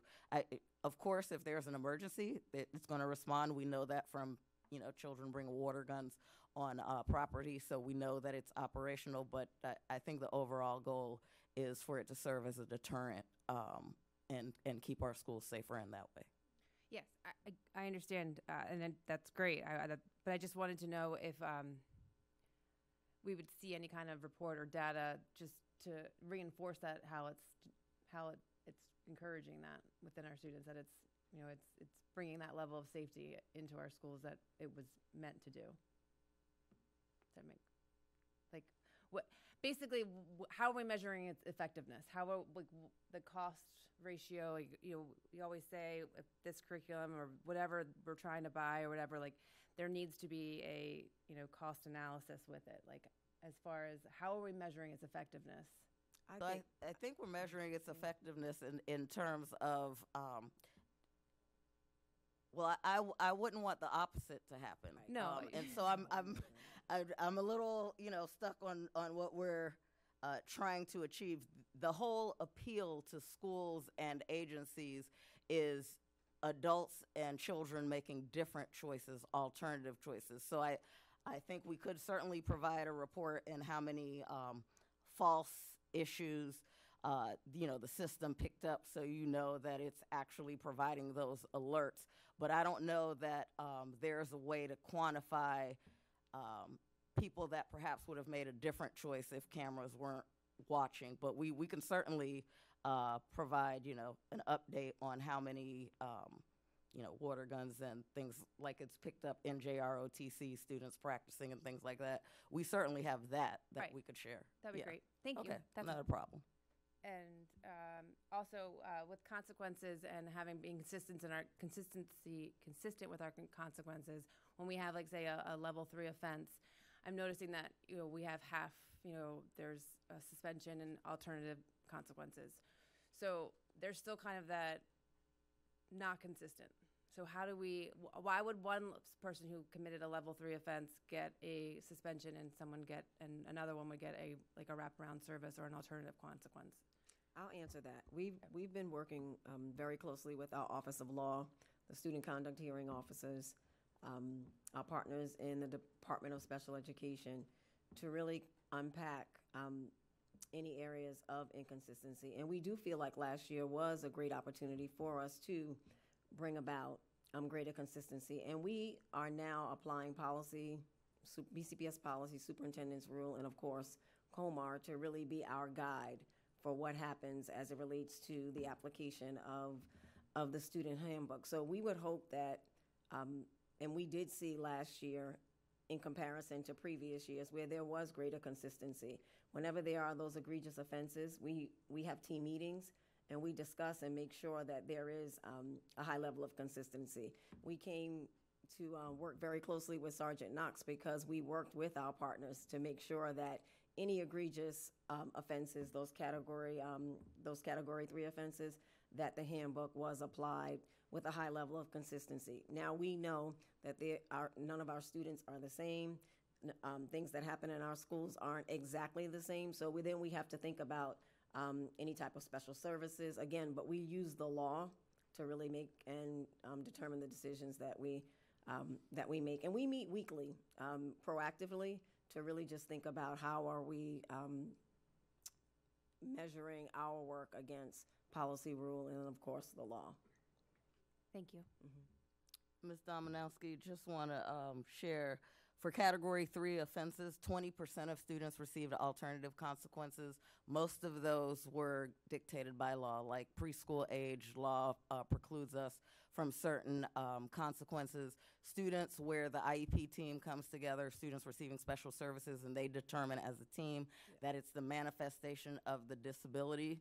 Um, that also precludes us from moving forward with uh, a board suspension. And so there, there was a much smaller percentage. I just wanted to provide some of those specific numbers for this last school year that just passed, which was very different from before. No, that, that's great information to know. Thank you. Ms. Frempong? Um, There's a lot of good information in this presentation. Um, So, Mr. Knox, for the mobile detectors, and you talked about, um, well, that they're mobile. So, for example, when there's a sporting event, and let's say it's regional, so it's not held on the school site, it may be held somewhere else, like maybe one of the community colleges, will we still have the ability to use the mobile metal detectors there as well for those type of events? Uh, possibly. It would depend on the rules of that site. So we would have to navigate their specific rules. But if it's mobile and at our event, we should be able to use it. But we would have to check with the hosting agency that has uh, jurisdiction over that site. Okay, thank you. Yes, ma'am. And then, um, Ms. Mustafer, um, for slide 11, where we saw the safety and climate, we saw different information about the mental health. issues. So there are five bars here on this chart, and um, the the category of presenteeism, um, those other categories I've I've heard before, but what is presenteeism? What does that mean? So presenteeism is looking at being available and present. So it, it's kind of when they ask you a question um, in a survey that says, were you present during this? Were you available? Were you attuned and astute um, to what was happening around you? And that's what would, they would calculate when they're talking about that. Okay. That could be the type of question, I should say. So. How is that different than engagement? Is is being present just a body being there versus engagement is that actual interaction? Engagement would be your interaction. Your presenteeism is you actually being present and available for what's happening. Engagement is actually the action of being engaged in the activity and engaging in, like if it's instruction. And presenteeism is being present in that moment and available. Um, so there t- it's goes, it's very close, very close in proximity with the, with respect to what it looks like, but it's different in how it's analyzed. Gotcha. Okay, and then for the distress category, so um, if we're talking about extreme levels of distress to where a student is even considering, you know, taking their life, is there some additional type of supports? Are there referrals to actual therapists maybe that are local that you can do something face to face with? And Absolutely.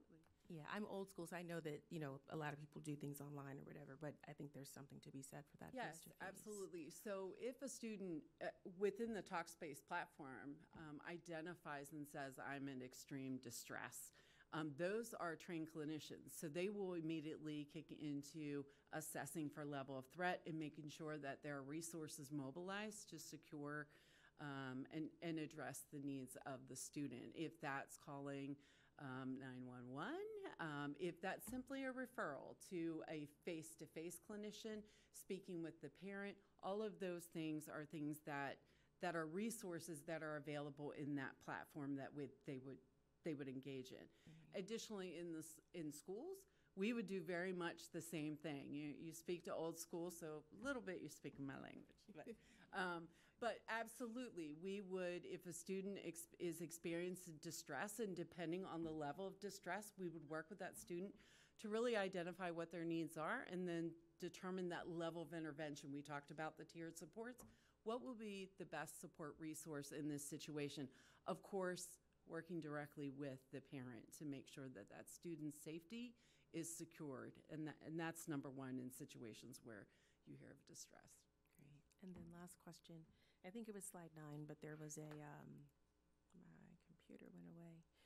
Um, there was a pie chart and it talked about the different levels, elementary, middle, and high. Yes. We saw more at the elementary level. Yes. And, you know, one thing that you also see is kind of a trend as, as the students get older, parental involvement is not as much. Mhm. So is some of that um, at the elementary school level, does it come from parents, does it come from staff, or is it the, te- the students directly that are making use of the services as far as a referral to the services? So the services that are identified in that pie chart, looking at the various levels, those are services that have been identified by the spokes that they will be providing. So this is just what the ser- what level will will the services be provided at. So we haven't really. This is really a, a- something that's information and just actually started in the spring under the consortium. Okay. So we don't really have the impact as far as the outcomes of those services. Right now, this is just information so that everyone is fully informed about where those services, where those services are. Um, so the, the actual spokes or providers were the ones that, that said, I can serve in, in this level of school, or I can provide this level at this school. Um, so I would guess more to come, but definitely this is where the spokes said that they could provide the service. But we, I think I did say, we do know we need more at the, at the secondary level, and we have to prioritize that. We'll go to Ms. Chika Kalu and then Ms. Henn. Okay, so Ms. Frempong actually asked my question, but that brought up one other topic that I think we wanted to highlight. So for students who are like who are expressing more alarming issues outside of immediate and like crisis support, is there any direct link or pathway for students to be referred to their school psychologist if they don't have the privilege of having additional referrals, especially if they don't have the strongest home support, because that is the unfortunate truth that not, as Ms.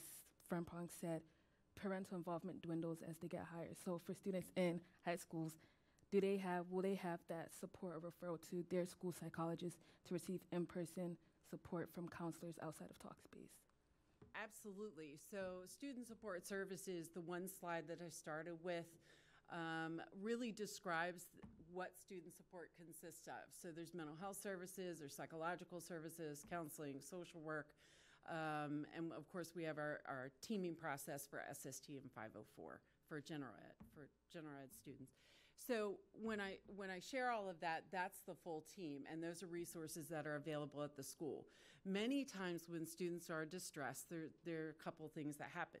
Students can self-refer, and normally they reach out to the school counselor or the adult that they're most familiar with that they are seeking help from. Um, and from there, it's a conversation about what those resources look like. We're really going to have conversations to engage the student and really identify what is needed in this situation. Is it a school psychologist that they need support from? It absolutely could be, and that could be a resource that's available at the schoolhouse level. A lot of times it goes um, through the counselor because that, that the counseling office is known in every school, right? And so the the students reach out there or the parent reaches out there and that team works together if if there's a concern that short term, we address that distress, and it's maybe I'm taking a test and I'm really super uncomfortable, and this is just riddled me with stress. Um, if it's that and it's brief solution and we kind of manage it and we move on, but if there's something more persistent and life happens, life happens to all of us and it goes on and on and on and we become in extreme distress, certainly we're going to work with that student and keep the pulse on that student and then mobilize resources. And yes, we can refer in-house to resources that are in-house. We could refer to a partner that's in our schools that could provide mental health services. And then, of course, we always have our community partners with a vast array of services that we can connect students and families with. But yes, there is a continuum, um, and I'd love to share it, with you for more info. Oh, also, so just another like part to that. So if this student is using Talkspace and they haven't like reached out within their school community or with a trusted peer or adult, is there any way to like for a Talkspace to initiate that I guess point of contact within their school or would it only be through their parent given that they don't have a strong home support? So Talkspace can circle if there there are significant needs, but they are going to ask the student for permission to be. Um, any any time there are there's treatment for mental health, they are going to ask the permission of the person receiving that um, if they can communicate back with the school to to share that information. My experience has been that that that does occur and that information is shared with permissions always. And that is consistent with a community provider as well, or if we as school uh, based support, support staff would share information, let's say outside of school with a therapist that might be outside of school or, or emergency personnel. Um, so there's always permissions that have to be asked, and then the information can be shared. Ms. Henn? Thank you, Madam Chair.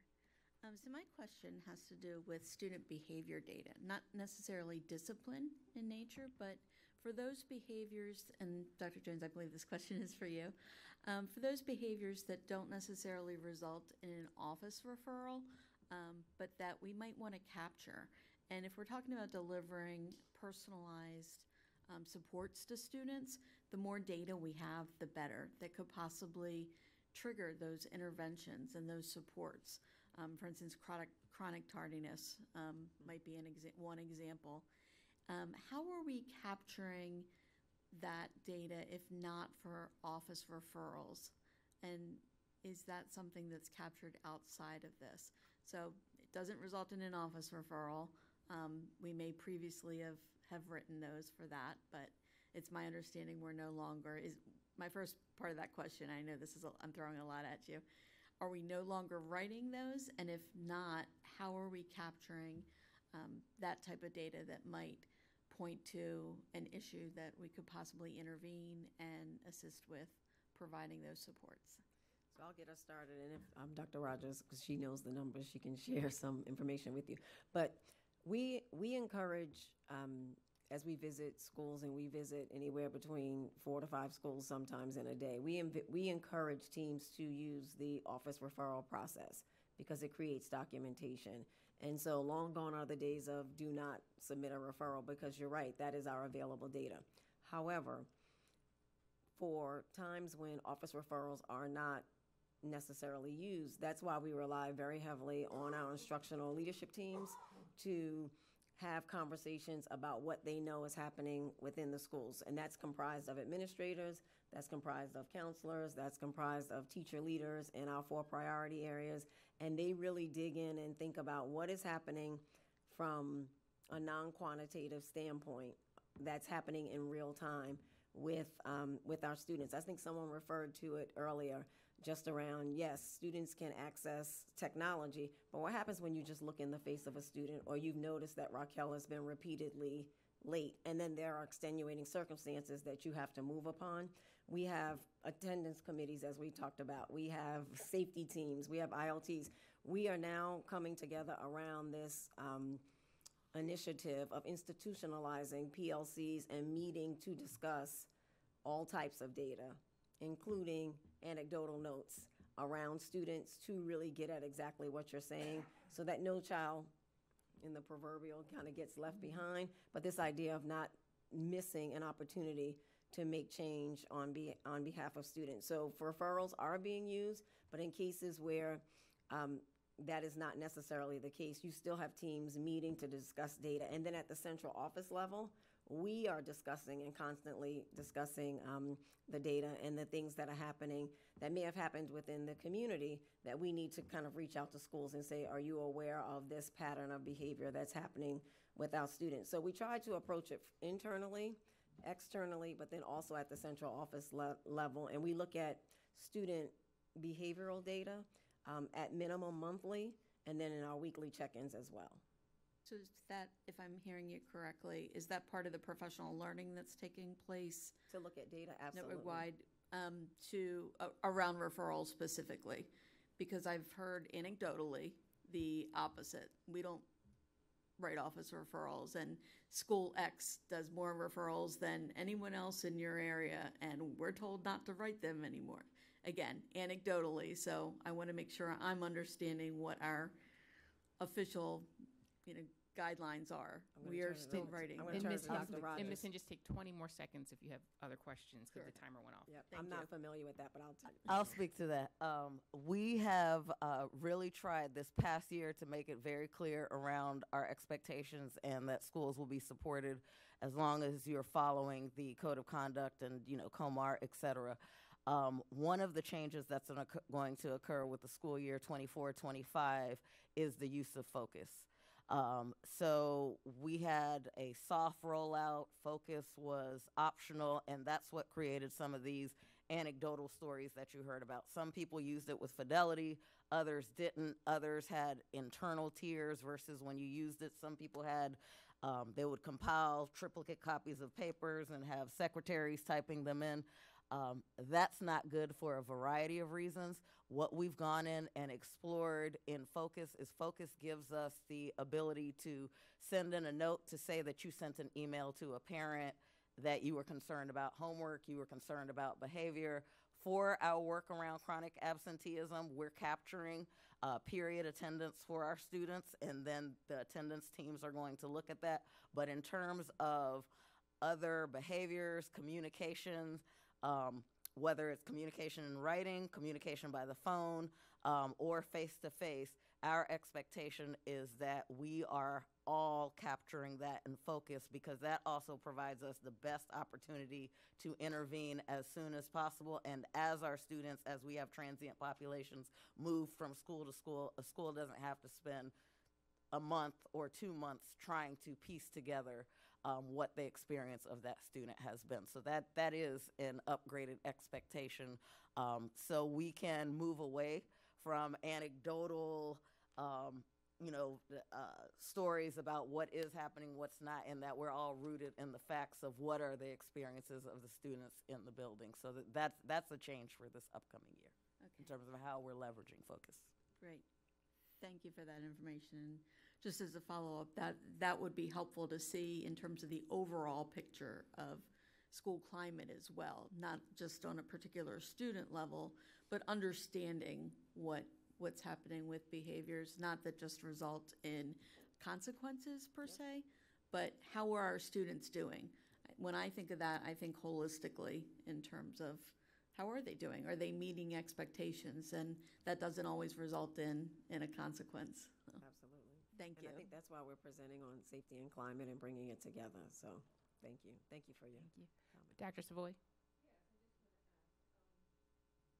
Second, do you have in-house suspension? Um, so it, it, it can be coined and termed um, many, many things, but um, I, I, guess I would say. Then sending the child home? I would guess I or would some- say yes, whenever, whenever possible, depending on the, again, based on what the code of conduct says and the range of, um, the range of um, choices or options, yes, we do employ opportunities for students to um, remain in school and then also receive social emotional support and conversations or discussions or follow up that allows them to kind of um, get back into the learning environment as quickly as possible. But of course, that would have to be something that is allowable or permissible within the, um, the code of conduct that gives us a range of, a range of options. And w- in-school suspension, again, the reason why I paused is because there's, um, there's a traditional approach to that, but then there's the approach that we like to use. And we always like to make sure that if students are in school, then they are doing things that make sense for them in schools as it relates to academic, again, social emotional support, visiting the counselor, um, making sure that they're getting um, the work and things that they, they need to get done. So we see it as providing them an opportunity to stay in school based on the range of options, but then it comes with a plan of support that allows it to be a productive day for the student. Thank you so much. Thank you. And I just have two questions about Xello. Um, so, number one, how can parents access their child's Xello profile or their career dreams or whatever it is they're doing in this platform? Absolutely. So we are going through that process now. So there's a single point of, of uh, sign on. That's what I would say. And so what we have recently discovered is that um, while we want to make sure that parents have access and they can go through Schoology to get that access, we do have some parents who don't have emails on record. So we're really bolstering the communication about getting emails on record. So it really is going into Schoology. It's going through the platforms. Um, you will see more and more information that's coming out. And we are going to be, I can't remember the date, I can get it. Uh, we will be doing a parent information session to support our parents in logging on if they're having difficulty. Um, but, but it will go through your Schoology access. And then, how are you ensuring that students are using the platform? Is this something that's happening during a specific period of the day, like during advisory or homeroom? Um, can you talk us talk a little bit about that? So that's a great question because one of the things that, as I shared earlier, that we found out in stakeholder sessions was the need to be very consistent. And so, what our school counselors will be doing is they will will be going into classrooms. They do lessons on a monthly basis at the high school level. They will be working directly to support students in logging on to Xello.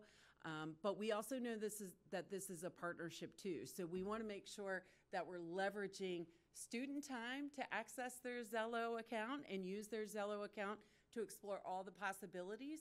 But we also want to take advantage of leveraging um, the content with our parents to support them and also accessing. So it's a it's a conversation not just with your school counselor, but it's a shared conversation for the whole child between the school, the student, and the parent or caretaker.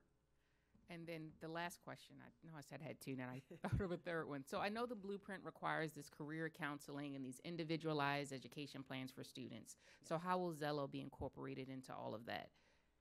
So the, the wonderful thing about um, Xello is that it does allow for students to complete surveys that really drive conversations about what are where do our interests lie, right? And so the other part of that is when you find out where your interests lie, it's also exploring the courses. What are the courses that match that that interest level? And so while in the blueprint they do talk about how do we set that pathway in motion, counselors will be working within that school team with the teachers to talk about what is the plan forward for our students um, in thinking about what's accessible and where their interests lie. So it's not nothing is independent. It works. It works together, um, kind of harmoniously um, for students to really do that exploration, but then have that plan for that pathway forward. Any? Thank you. Any other questions? You can tell there's a lot of interest in this. So thank you for your presentation. Thank you. The next item on the agenda is the report on career and technical education and apprenticeships, and for that, I call on Dr. DiDonato.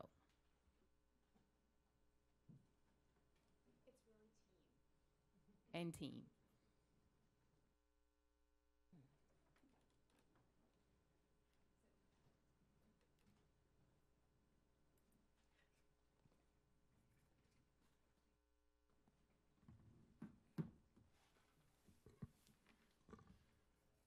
Good evening, Chair Booker Dwyer, Vice Chair Pumphrey, and Dr. Rogers, and members of the board. Tonight, I have with me, who you've already met, Mavita Parham. She's our coordinator of college career and technical education, and Alicia Fales, and they're going to share some important information with you as it relates to CTE. Hello again. We can just go to the next slide.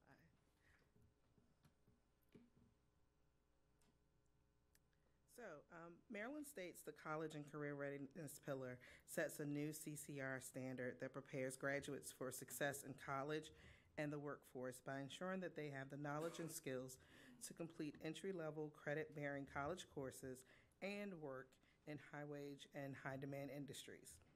BCPS CTE is preparing students to be college and career ready by collaborating with core areas, providing technical content, and skill building to be aligned with CCR and meet industry needs.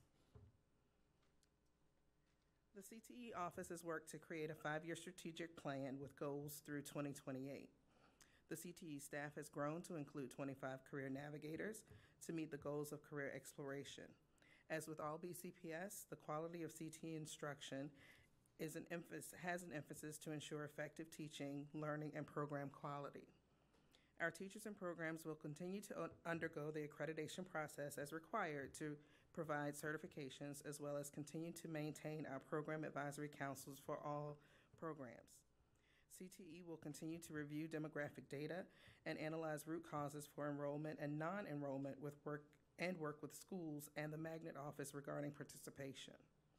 In addition to career exploration for all for all via Blueprint, once students have enrolled in our CTE programs, we will continue to provide industry access via internships and partnerships within our communities. MSDE established three pathways to prepare students for success after graduation, including completing an apprenticeship, meeting CTE qualification, and industry certification. MSD has also established the goal of 45% of students meeting the criteria for one of the pathways by 2031. Data from the graduating grade 12 students from 22 23 were analyzed. The annual increase was calculated to be 2% to meet the 45% benchmark by 2031 as set by MSDE.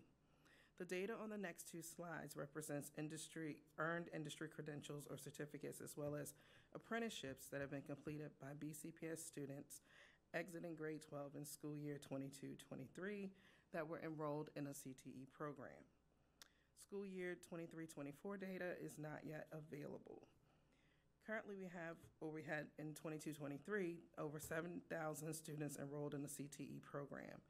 70% of those students earned an industry credential or certificate. Of the students that attained a credential, 52% of the students were black, 60% were Hispanic, 67% of, of them were multiracial, and 88% of white student white CTE students earned an industry credential or certificate. Of the students that attained a credential, we had 89% females and 47% of males that earned the credential as well.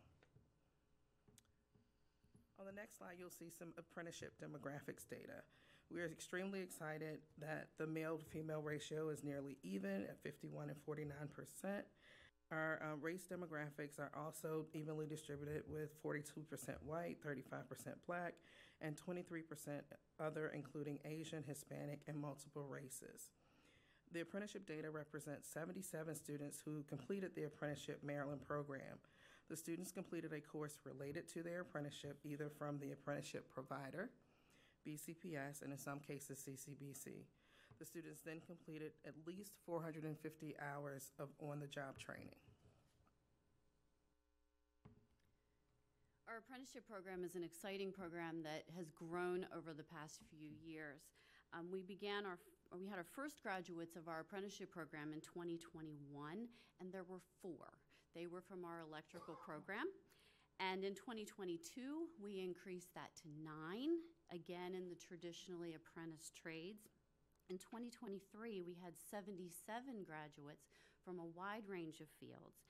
And in 2024, we had 162 youth apprentices who participated in the program, with 100 of them completing.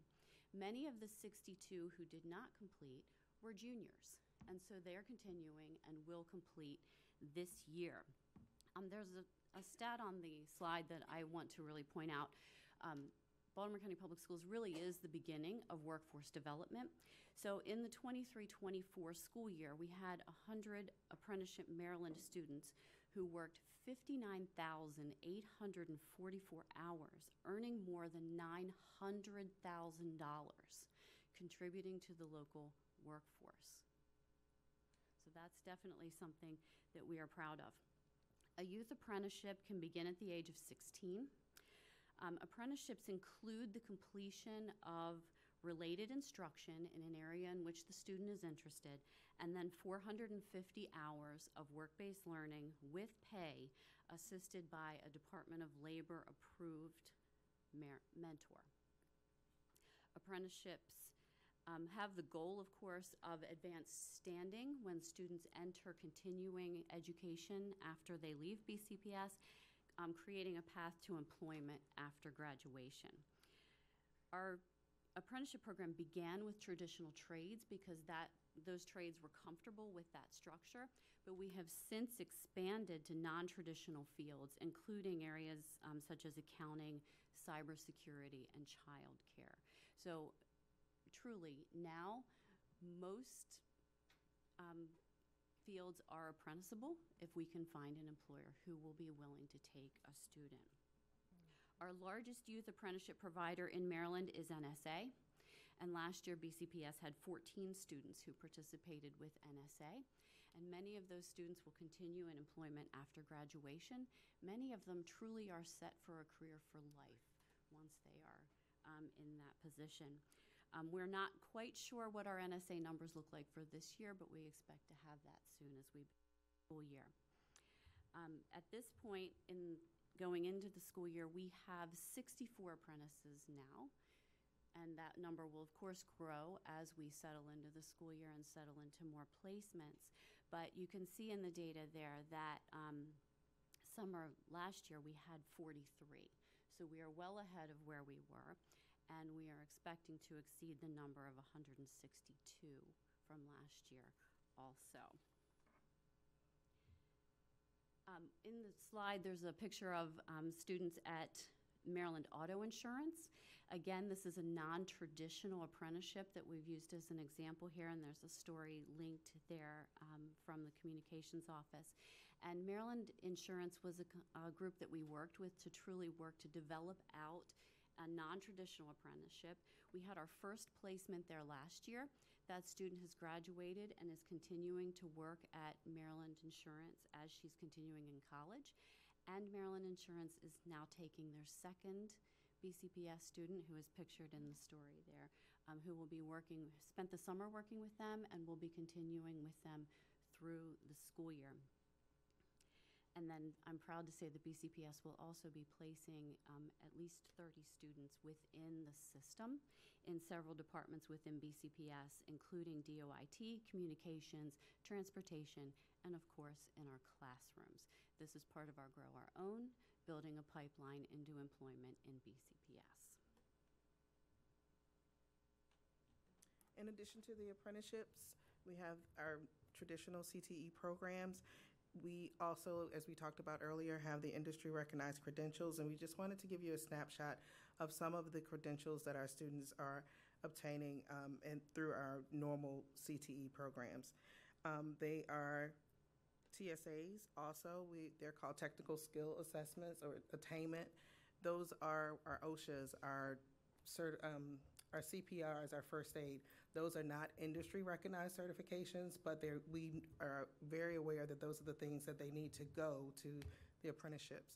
So if a student is doing an apprenticeship on a construction site, they will need to have their OSHA, um, OSHA, at least OSHA 10 card, sometimes OSHA 30, but they need to have those things, so we make sure that those are available for our students as well.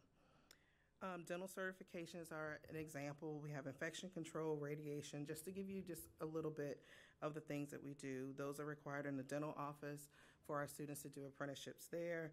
We offer remote pilot's license and private pilot exams, which is a partnership between BCPS and CCB. It is the official certification of our aviation programs, and those are at Kenwood and Hereford High School. We also have Autodesk certifications, which are available through our engineering and architectural programs, which are throughout the county. So this slide gives a snapshot of the different industries, um, showing a strong variety of industries where our apprentices have participated. Um, we have many industries represented, including agriculture. Um, but the, the largest bar there represents our students who are in education.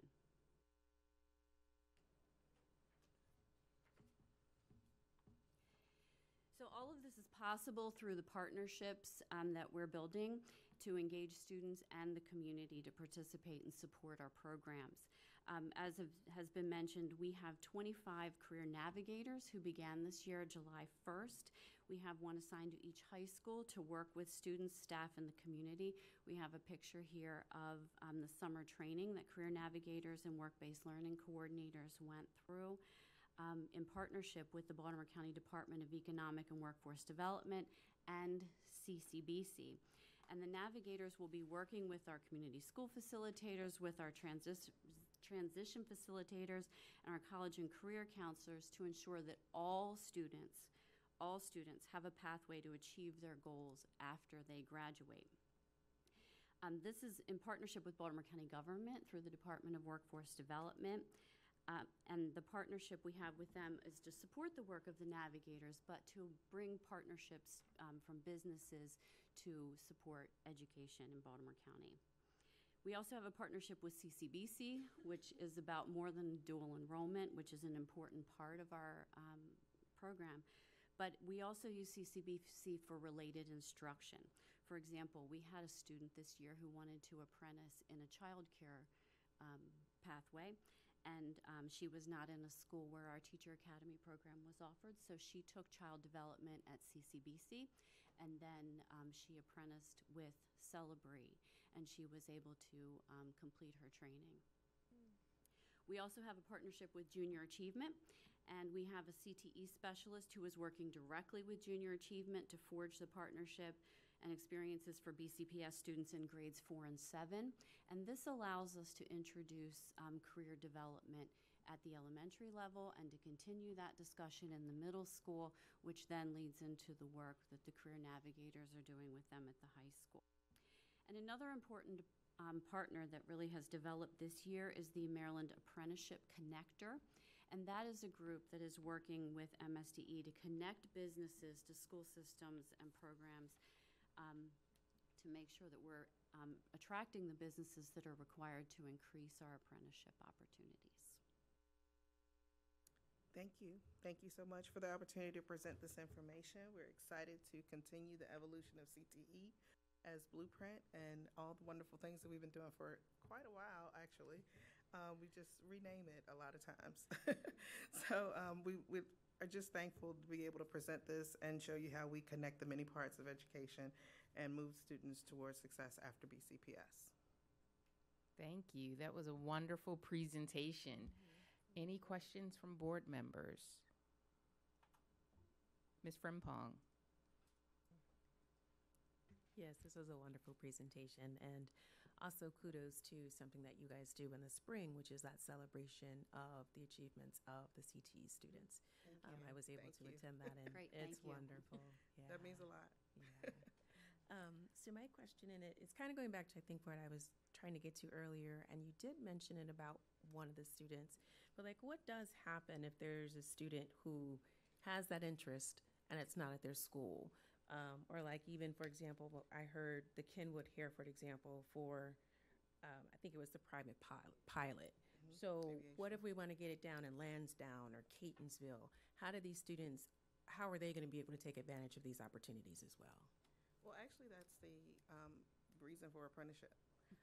The, the purpose of apprenticeship is that if you don't have it in your building, you can then go to another program. This program is one course, and then you can apprentice the rest of it. So it's still four credits. It's still an amazing program. The only part is, Alicia will give you some more, is that um, you have to find a partner. You have to find the related instruction, as, she, as, you, as you heard about Celebree that student. But those are the programs for the students that don't have it in their building. We do have to take those partners through a Department of Labor approval process, which is um, a bit time intensive. However, we do have support from the Department of Labor and from MSDE, from that Maryland Apprenticeship And from our um, apprenticeship navigator at the Department of Labor, who um, really makes the process pretty easy for them, and they have to apply to the Maryland Apprenticeship Training Council and be approved. So what happens then sometimes is we have employers who we're using for internships, but then we see that the students can fulfill the um, hours required for um, an apprenticeship, which is 450, which is a more intense um, participation level. So we're able to then work with the employers to convince them to convert and apply to um, provide the apprenticeship. And then the intention really is that there's this pathway for students to continue after graduation, either with that same company or at least in the field and continue into training related to that field after they graduate. But we do look for, um, back to how do we get in the different areas? If a student in Lansdowne is interested in, let's say, aviation, then we would look to someplace like BWI or um, something in the area to see what is available there and would be closer for the student and would be a good fit for the student. And then we take a look to partners who can provide that related instruction. Maybe the employer can provide it. Maybe we can provide it through a program in BCPS, or we're looking to CCBC or um, another provider to make sure that they have that related instruction so that they're ready, and then they work with the mentor on the job for that 450 hours to really gain the skill that they need to be a, an entry level um, completer of the program. Which is also the beauty of the career navigator and the community school facilitators working together. Okay, fantastic program. Kudos to you guys again.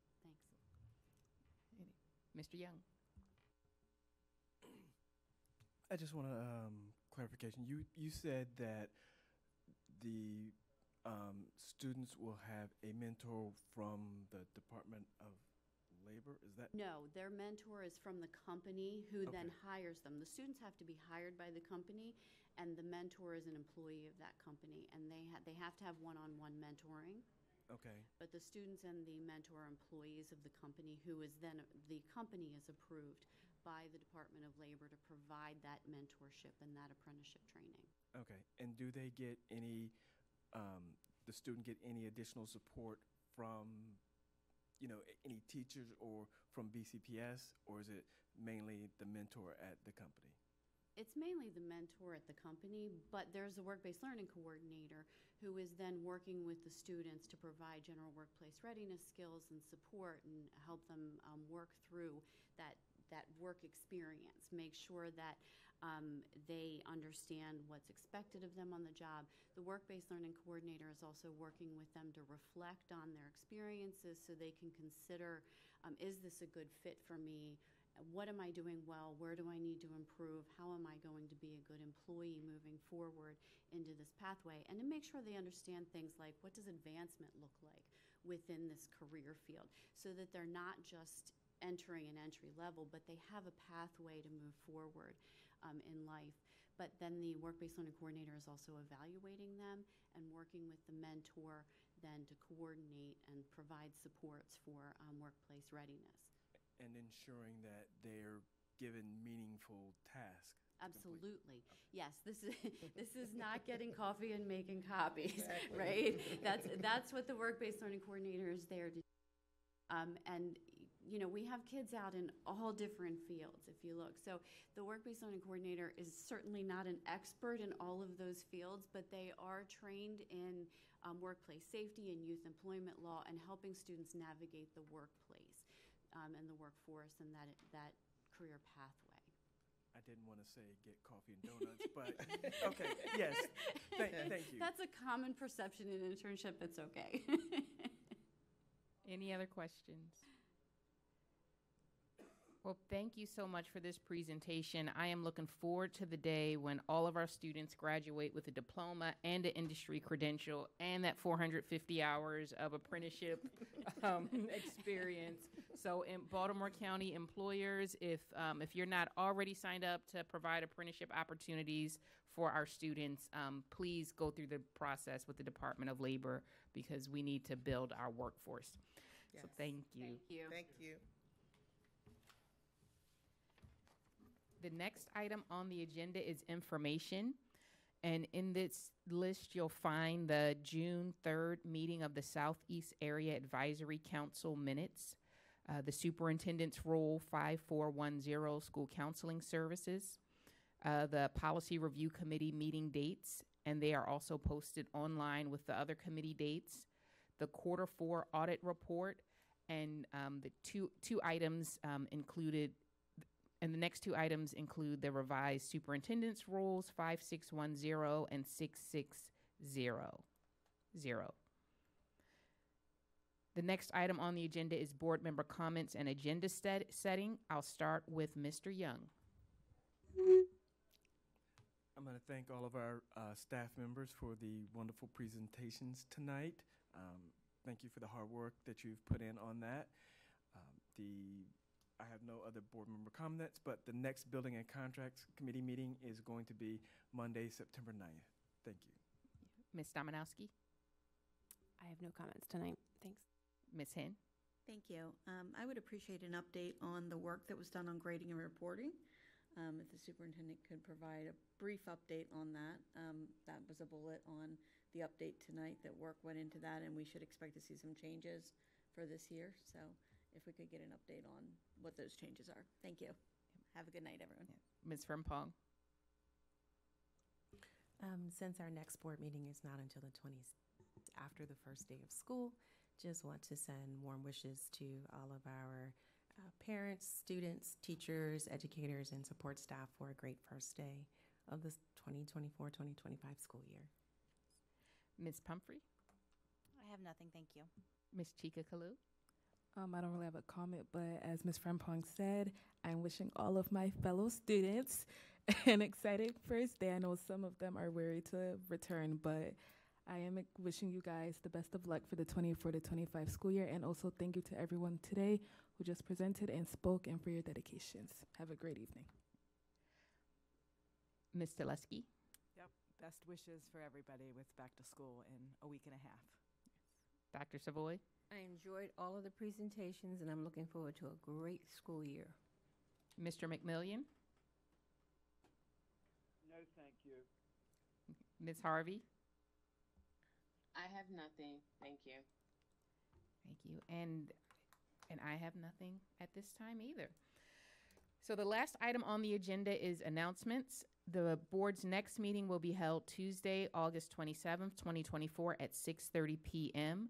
Thank you for joining us tonight. The meeting is now adjourned.